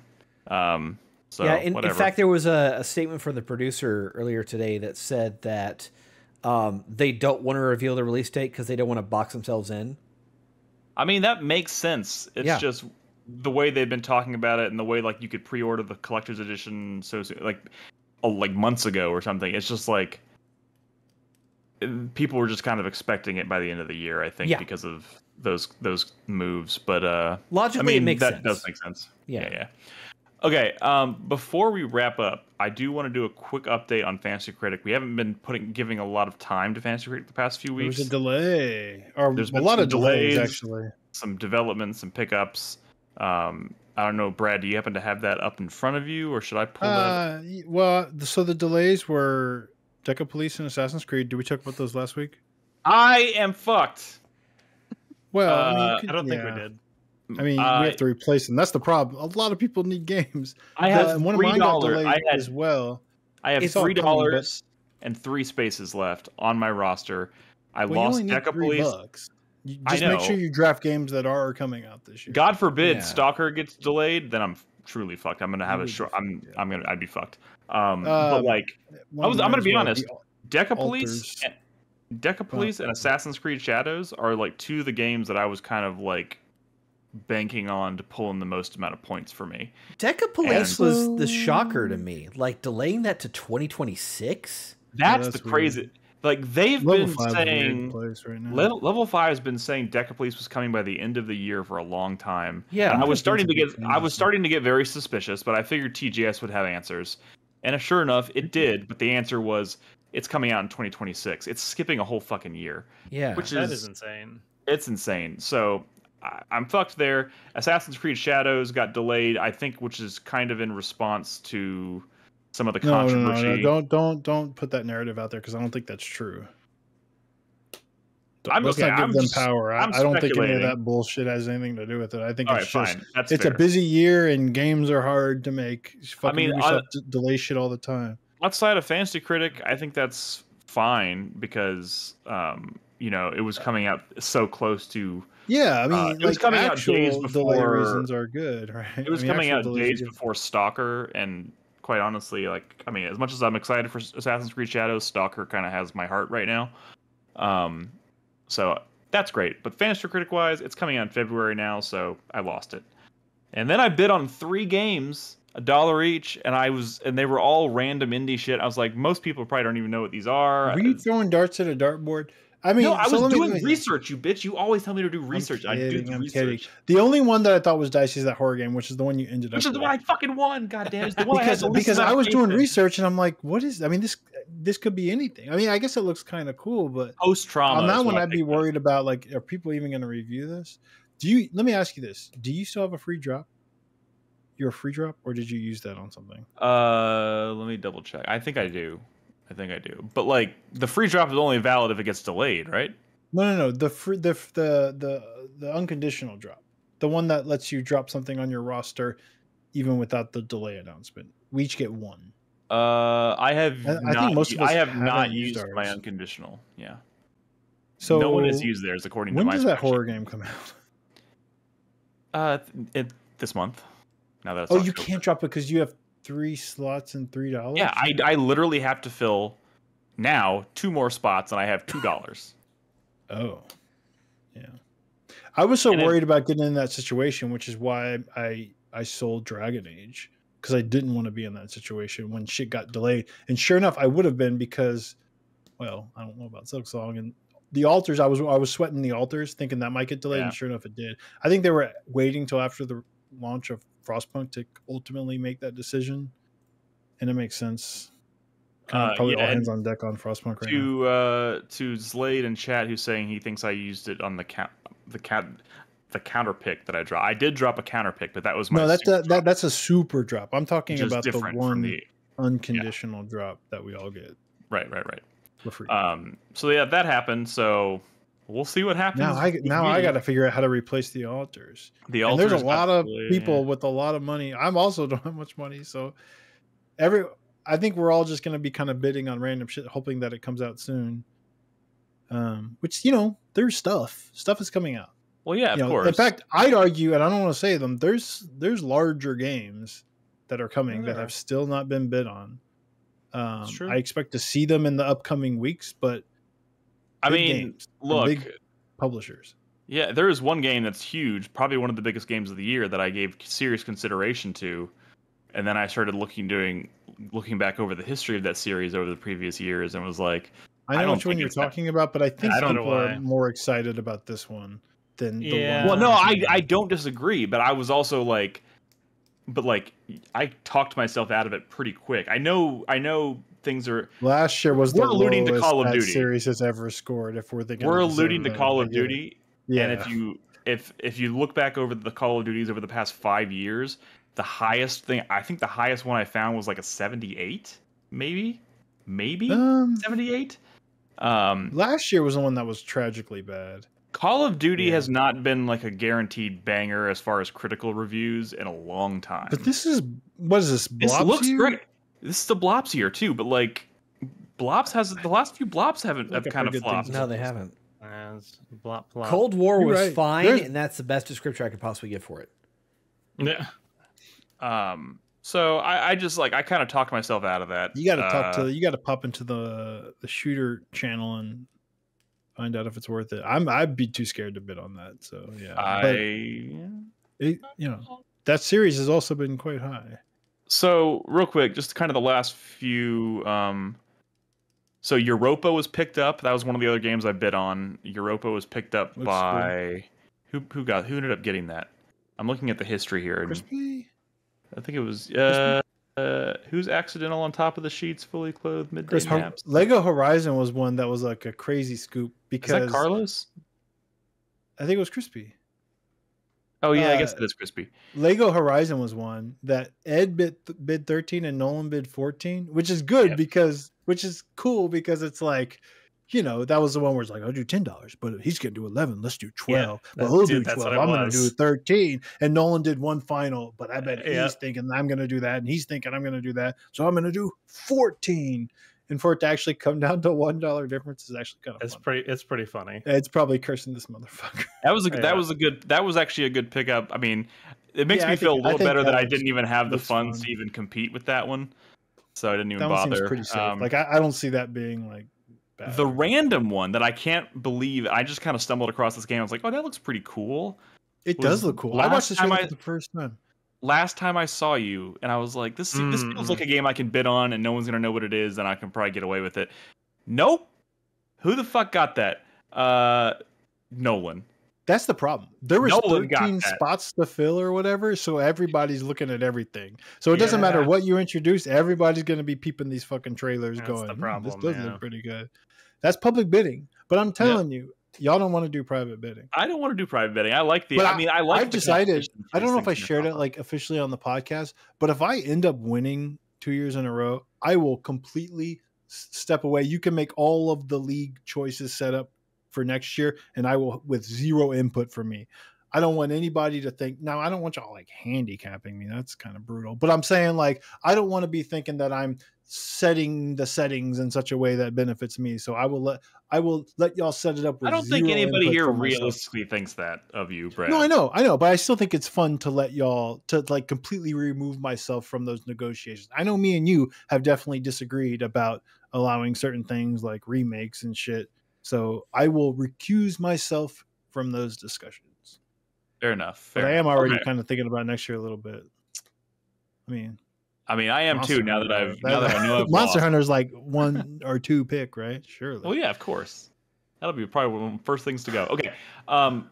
With the, all right. With that, let's go ahead and wrap up with the four player minute. I know we're going a little bit uh long in terms. I just did one segment tonight, so let's just Yeah. roll right into it. Let's wrap it up. Uh, Oh. four player minute. Brad, what's Nolan, your go. final thought for the week? Oh, what the fuck, Nolan? You're you're going first. Uh, sure. No. Yeah, I can. Um, so yeah, uh, obviously, per usual in uh, all eternity, my my sweat is just games. there's too many. Um, I have not finished Astro Bot. Uh, I'm playing all this UFO 50. I started Zelda. I'm still playing some Pokemon on the back. Uh, and so you know, there's there's just too much going on. On top of all of that, uh, I'm trying to do nursery related stuff. Uh, we're trying to pick out paint colors. Um, eh, paint colors look so much different on swatches in the store than they look on your wall in your house. I. Your That wallpaper sample though looked really good. Motherfuckers. and the, the the wallpaper does look good and and i have it temporarily hanging on the wall with just some like uh paper clips not paper clips uh whatever those like Push pins. binder clip things are no Oh. not well yeah, the push pin but i didn't even do a push pin into the wallpaper but anyway uh because i'm trying to put up you know big you know i'm doing like kind of three by three um samples of paint uh all over the wall uh, in different shades um trying to figure out one that looks good. And it's like okay well it looks good now but hold on the sun's not up. Let's see what it looks like when the sun's up because that's going to change things. And the other problem is is i didn't think about it. When you're going to paint different uh uh you know uh test colors i you gotta wash out your paintbrush between, between each one because you don't want it like like tainting the samples and so it's like oh my god like and i, I think i've done one two three That's why you just buy like five, 18 seven, paintbrushes. right Dude, in retrospect i should have bought like a, bunch of cheap paintbrushes uh, I have like I think I have like eight or nine different samples up in the room, like on different spots on the walls, trying to figure out the best color. Um, and so it's just like, man, uh, just like one thing after another. And then I've been doing all this yard work recently because I'm trying to get my yard nicer. Because I'm like, man, we got a kid on the way, and I want them to be able to play in the yard. But it's not like I can just start that when they're ready because then the yard's not going to be. in. so it's just like, oh my, that's just like one thing after another right now. Pretty much Uh, endless, yeah. but yeah uh, and then Cool. you know just doing research on car seats and strollers and cribs and trying to figure out all the best stuff to and, I, and don't get me wrong i'm definitely not trying to buy the most expensive stuff for my kid or anything like that it's more about like i'm just trying to make sure i'm making a decision i'm not going to regret put it that way And i don't and my kid that'll- doesn't need a seven thousand It's unlimited. You, pretty much everything you can buy can go up into Chris Davis territories of mattress. And and that's Uh. what I have found. Uh, and I have found that there are certain cribs that I'm like I didn't know how much I thought a crib was. Um, but then there are It certain ones this. that, uh, yeah, it's like man, like, and it's like, oh, but this one also you can you know change its uh orientation or whatever, so it grows with them. So I'm like, maybe it is worth a little more Yeah, money have because then I want to buy something We else in the future. modifying it to becomes a regular bed. You know, yeah. There's a there's a heavy baby tax on everything you buy because they know that people Yeah, will. sure. I gotta buy the best for my baby. You know, it's But it, there are certain gouge. things, especially when it comes to like clothes and stuff. I'm like, I don't want to spend a lot of money on baby clothes because they grow out of them so fucking quick. And so and actually, you get this gifted past clothes a lot. well, you do get gifted, but actually, this past week there was an event in town, and I forget what it's called. Oh, um, just between friends uh, was what it's called, and essentially, think of it like kind of like maybe almost like a Goodwill, but f- mainly for kid-based stuff. And so it's like essentially people donate stuff to it, and then they sell it, but they kind of do it like it's like a, a mobile thing, so they have small pop-up shops. Hmm. And so in this case, they did it in like a local fire department, um, or they popped it up. And so we went and we bought, actually ended up buying a bunch of like um, uh, smaller clothes and, and stuff like that. Cause it's like, oh, this thing's cute. And it's like $3. And I'm like, yeah, I know my baby's going to grow out of this in like a few months. Uh, so I don't mind spending a few bucks on that versus, you know, yeah, I don't know. So anyway, there's there's a lot of stuff. does- Baby proofing, um, Slade in chat is asking, no, not yet, because the baby's hopefully not going to be doing Yeah, anything. Yeah, that's the thing. Baby proofing So- doesn't actually need to come with I'll- when the baby pops out. But I got a little bit of it. time before I need to do that. And similarly, it's the same thing with the nursery. I don't need the nursery ready day one. The baby's not going to be sleeping in the nursery. It's going to be in our room. Yeah. Uh, but I think it's more like a symbolic thing that you know when It's a nesting bring the baby thing. home. Yeah, it's a, yeah a nesting thing. And also, you know, Bernadette can't really do anything in that room until I've done all of that. Um, so yeah, that's hopefully um, we think we've decided on a paint color um and then uh hopefully uh this week gonna go buy that and then potentially be painting the nursery all weekend so it's like one of those things where it's like it's just eating How- into my how's gaming your- time right now Let me ask, how's your how are your dogs? Are y'all are, are- how are how is where you live right Oh, they're- do they are they pretty are horrible. barky? They're, are they pretty barky? Uh, They love gloves. Um, yeah, they, they love eating gloves, and then me having to take them to the No, vet and pay. A I bunch mean, of like, money are they get them to throw hearing the gloves shit? up? and barking um, at shit? so no, they do not bark at random shit. Uh, just when someone walks past or anything like that. Um, but that's good. they do bark um, a lot at like dinner time or uh, certain times of the day. They will like bark a decent amount, um, you know, for whatever reason. But they're also like they're they're huskies, so they're not like they're. It's not like that that shrill barking. It's more like Yeah. like woos. Um, uh, but Kate, Kato can get pretty loud. Um, but we're hoping that the baby hearing all of this while in utero uh, is getting her used to the barking sounds. Uh, and the other thing that I have heard in the countless hours of research I've been doing online that's eating into my gaming time too uh, is uh, you know uh, you know when you bring your baby home from the hospital, do not have a quiet house. Do not try to be silent. Do not try to like you know make it like run the vacuum, make lots of noise, do lots of things because you want your baby to get used bar. to that stuff. Yeah. Yeah. Um, so yeah, so hopefully, uh, hopefully she uh, gets used to the dogs uh, barking. Like I said, the main times they do it are like kind of dinnerish times. Uh, maybe when we're like right about to go outside and they're getting excited, or unfortunately, we started a bedtime routine with them uh, where uh, to convince them to go upstairs at bedtime, I started giving them some little dental sticks, which I guess is also good for their health. That's They- what that's what we Mhm. do for for Evie, and she is she is the most attentive bedtime dog, and almost almost on the dot nine o'clock. She's like, it is bedtime. She go, she's get, trying to get our attention. She wants to go outside, and when she comes back in, she goes straight to her crate, and she looks at us like, okay, give me a dental treat. Yeah. And we give her we give her a greenie every night before bed. So I'm I hear you. Unfortunately, uh, my dogs aren't Single aren't that. greenie. Uh, well, they come in different sizes. Yeah. Uh, you can get small ones and you can get Yeah, huge it's like- It's like this long. yeah. okay. That honestly, I don't even give my dogs the large dog greenies because they're so fucking big. Uh, they're like huge. I give them the medium-sized dog ones. Yeah. Um, but uh, but yeah, unfortunately, Kato is not that uh, uh, direct and subtle, and he he just yells and and and he's like, "Give me the fucking treat! Give me the fucking treat!" Uh, as soon as it's like that time. So hopefully, the baby gets used to that when she shows up. Okay. You just What's make I know sure we've had this conversation. make- what's the make what's sure the due uh, month or the the the month again? So, the due date month whatever. Sure. She, she's Yeah, you- due on Cyber Monday, Oh, Oh, shit. December second. damn. Make sure, make sure you give uh, lots of special time for your dogs because with our dogs they became sort of like the tar- you know when you're so tired and frustrated and and they start barking you just be like fuck you you're the reason all this sucks you woke up the baby. You know they don't know what's going on. But they do become sure. kind of a kind of a target. And when when both of our dogs died it was like oh shit are we gonna start taking it out on henry? You know, when we get all frustrated. Yeah no you gonna you gonna bring a blanket home from the hospital early to get Yeah, them used no, to the, the- smell and all that Yeah, that's that's the plan. Yeah. um, is to bring like a blanket or a hat or something like that. Yeah, just to get them used to it. And I, I don't think Kato knows because he's a uh, he ain't got much going on upstairs.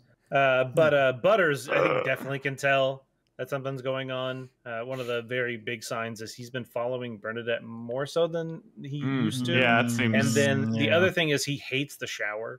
Like he does not like the shower at all. But now every Who time she showers, he's right outside the shower. Um, and so that's Oh. like very odd for him to do. He's Uh, good. So Yeah. yeah, potatoes a hide yeah yeah, yeah. yeah.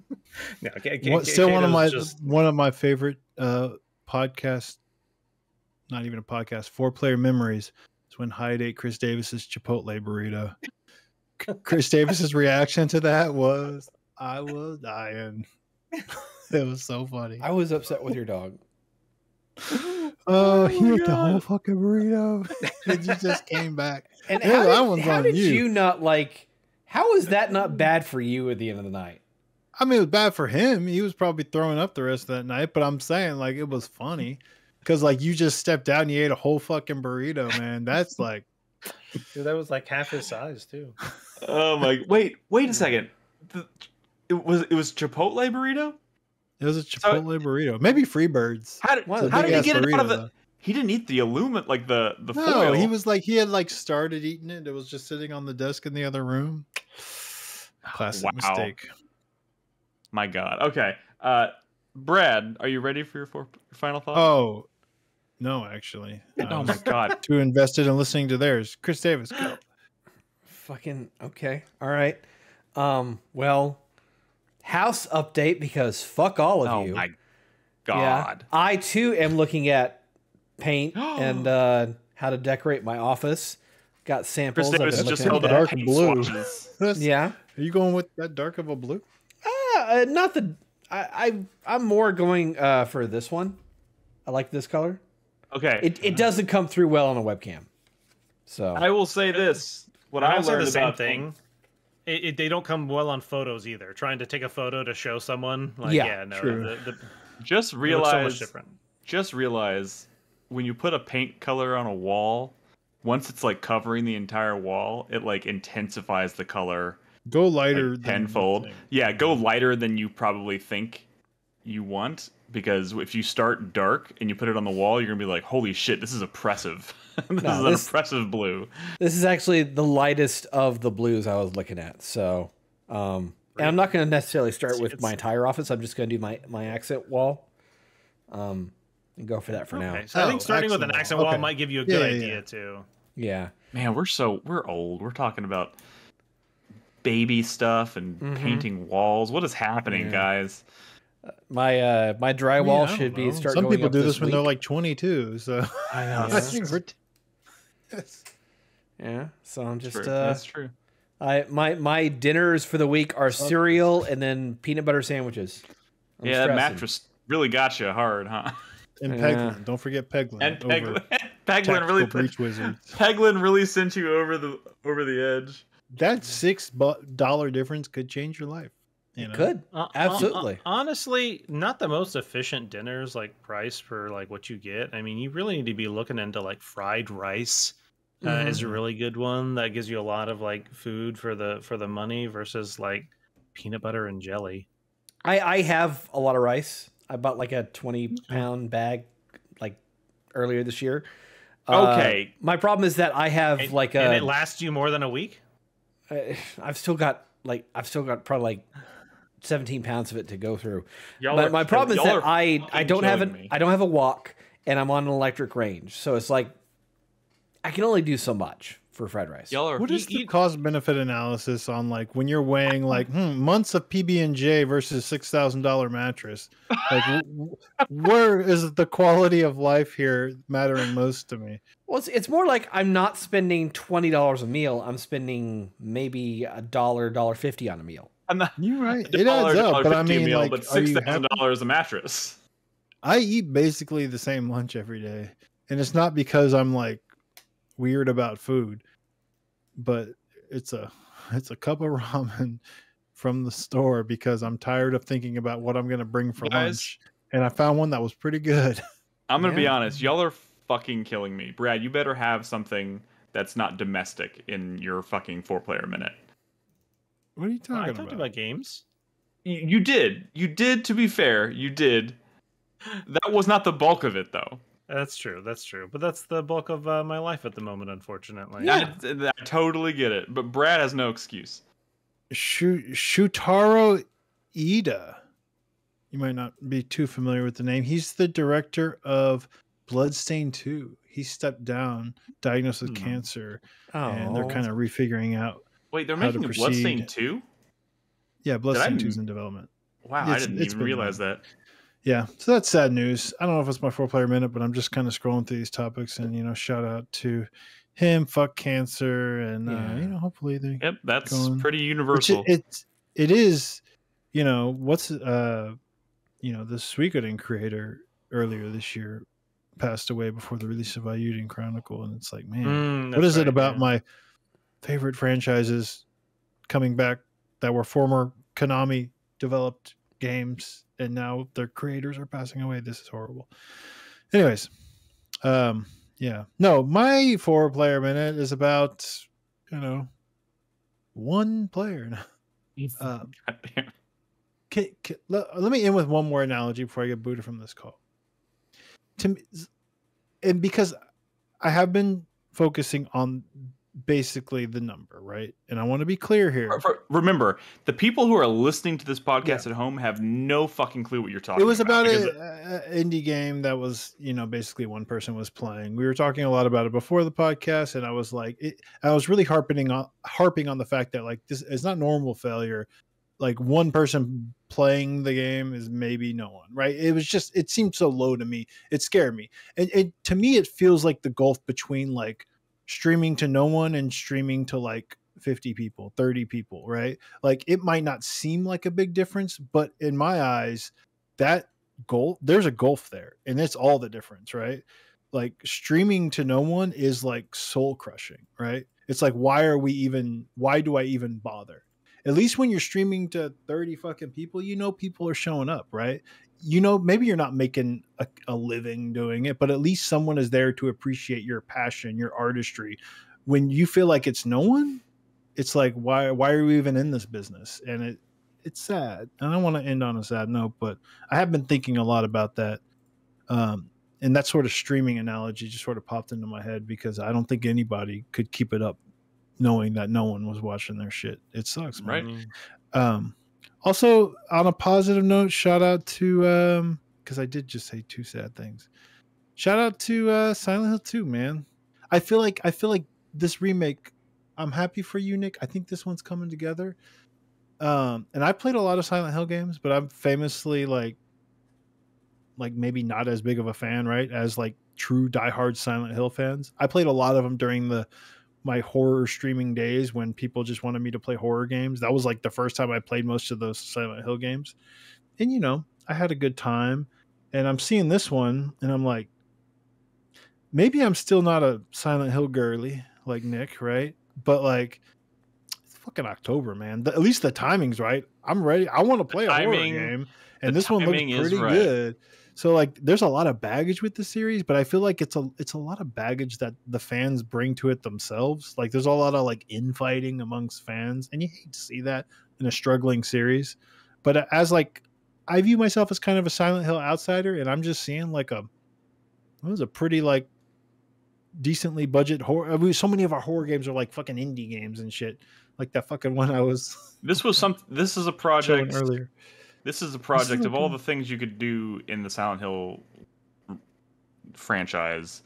This is like the one thing that you wouldn't, you just wouldn't want to fuck up. Like I don't know how much faith I have in the other projects like Silent Hill F or Silent Hill Townfall. I hope those come together. But like even if this is a huge success, I still don't know how I feel about those other projects. But it's nice to know that like th- a re a loving remake of this game in particular, which is one of my top five games of all time. It's a goat horror game. Seems to It be was coming it, together. of all the Silent Hill games I played. I didn't play Downpour. It- Um, uh, it was uh, my favorite. I, I love you guys. Can I bow out? yeah, I have Yeah, we're- take care of something. Okay, I know we're Mhm. wrapping up, so I just wanted to feel bad. Yeah. Love you guys. Podcast, fun times. you're good. Appreciate it. Talk to y'all later. Bye. bye guys. Oh, Bye. not- no, we're not. I said bye guys, like I'm leaving, but it's really just bye Nolan. Anyways, uh, yeah, no, I, I, I totally, uh, I hear you. I hear you, Brad.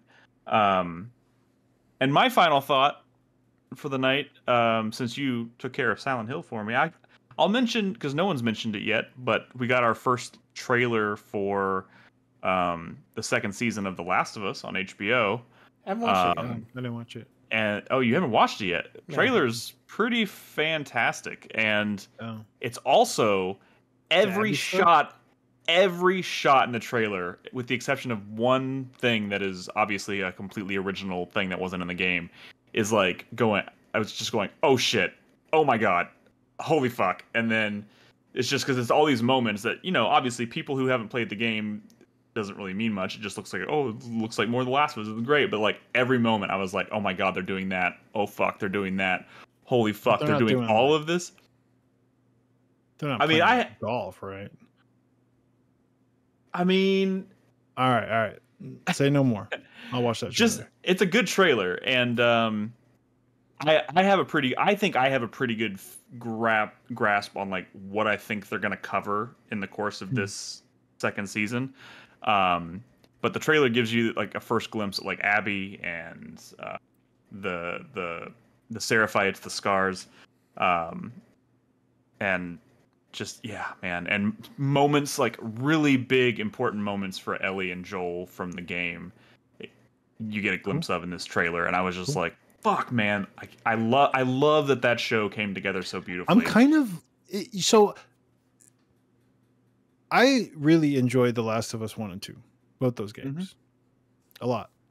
Um, I'm more of like I feel like in terms of the games, one is a lot. I I like the maybe the first one more than the second one as a video game. That's fine. But I will say, like, translating like those stories to like television, like I feel like the story of the first one is a lot more like standard zombie fiction story. yeah, I And- think it's a lot more. And I think I'm more interested in seeing how they adapt the second game oh, because Oh, yeah. that go there's like big, much bigger swings. Yeah. much bigger intended. swings. Like I feel like they need to that- s- they need to spend at least four or five episodes before they get to the, the big moment. Dude, which I'm pretty the trip to sure. Seattle. This season finale am- we're talking. I am pretty most. sure the season finale of sec- second Yeah, season is yeah. that moment. Um, because first of all, one thing we do know already is that the second season of the show is, is only seven episodes. Okay. Um, so they're doing a- fucking it's doing a shorter season. It's just short seasons. um, I hate it. but they've already said they've they've kind of like mapped it out for at least two seasons for the second game, maybe even three. So, and that if you you've played the second game, that makes total sense. And Oh. adapt. Fuck. Oh, I know what four player minute should have been. It was something we didn't cover in fantasy. Well, it came up fantasy. It's not fantasy critic related. Okay. I mean, they're not I'm racist pretty much. I'm pretty list. much done. The You not racist list, Nick. Let's end on that.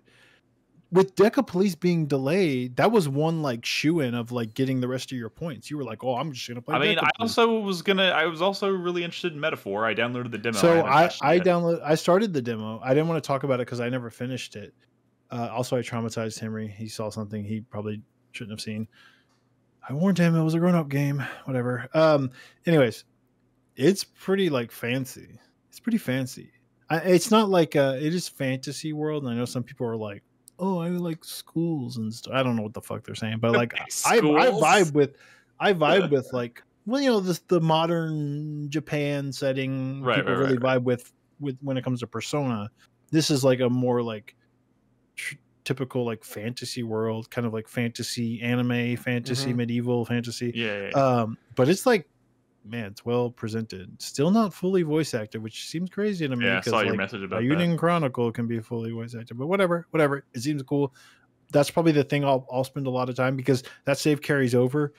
I'll probably Yeah. and I hear it's now that Decapolice isn't coming out, I kind of have to play Metaphor if I want to get my not racist card. So, you uh, do kind of, but I hear it's everyone's saying it's like Persona long.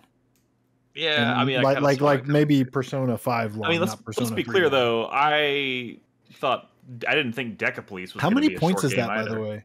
Do we know I where you're at?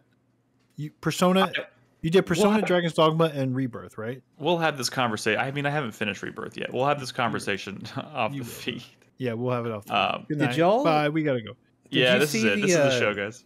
Uh, did y'all see the What? Yoko Taro promotional video for Metaphor? No. Oh, wait, no. yeah, I haven't. watched it. That was cute. That was really good. Yeah, Uh, you know, make another fucking NieR game. Stop being cute. Damn it. I, I think he's just waiting for Square Enix to give him the green light and give him the money. Oh, Oh, these uh, got to have been working on it.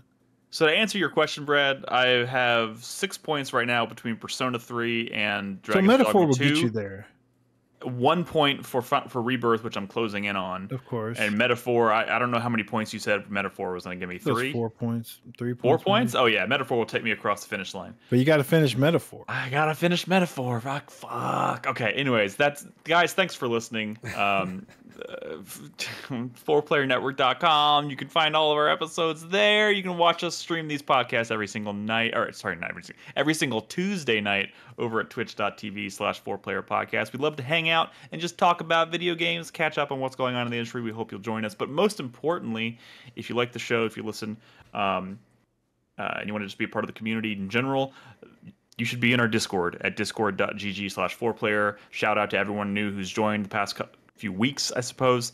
Uh, I've seen a few people trickling in here and there saying hello in the introductions channel. A lot of those people kind of say hello and then kind of fade. Like I, they don't really, I don't really see them popping up everywhere, but like I know they're there, they're lurking. So shout out to those people. Um, but we do hope you'll stop by and hang out and talk about You games with us. acknowledge the lurkers. Don't don't call out the lurkers like you see them. That just scare them away. lurkers want to lurk. Uh, lurkers do want to lurk, and shout out to all the lurkers in chat who come by to watch us record these. We appreciate it. Um, but anyways, yeah, thanks for tuning in, guys. We'll be back next week. I should really start splitting these shows into two episodes, I or two segments again because this is a long segment. So I done goofed. We'll see you next week, guys. Have a good night. Be good to each other. Play video games. Good night.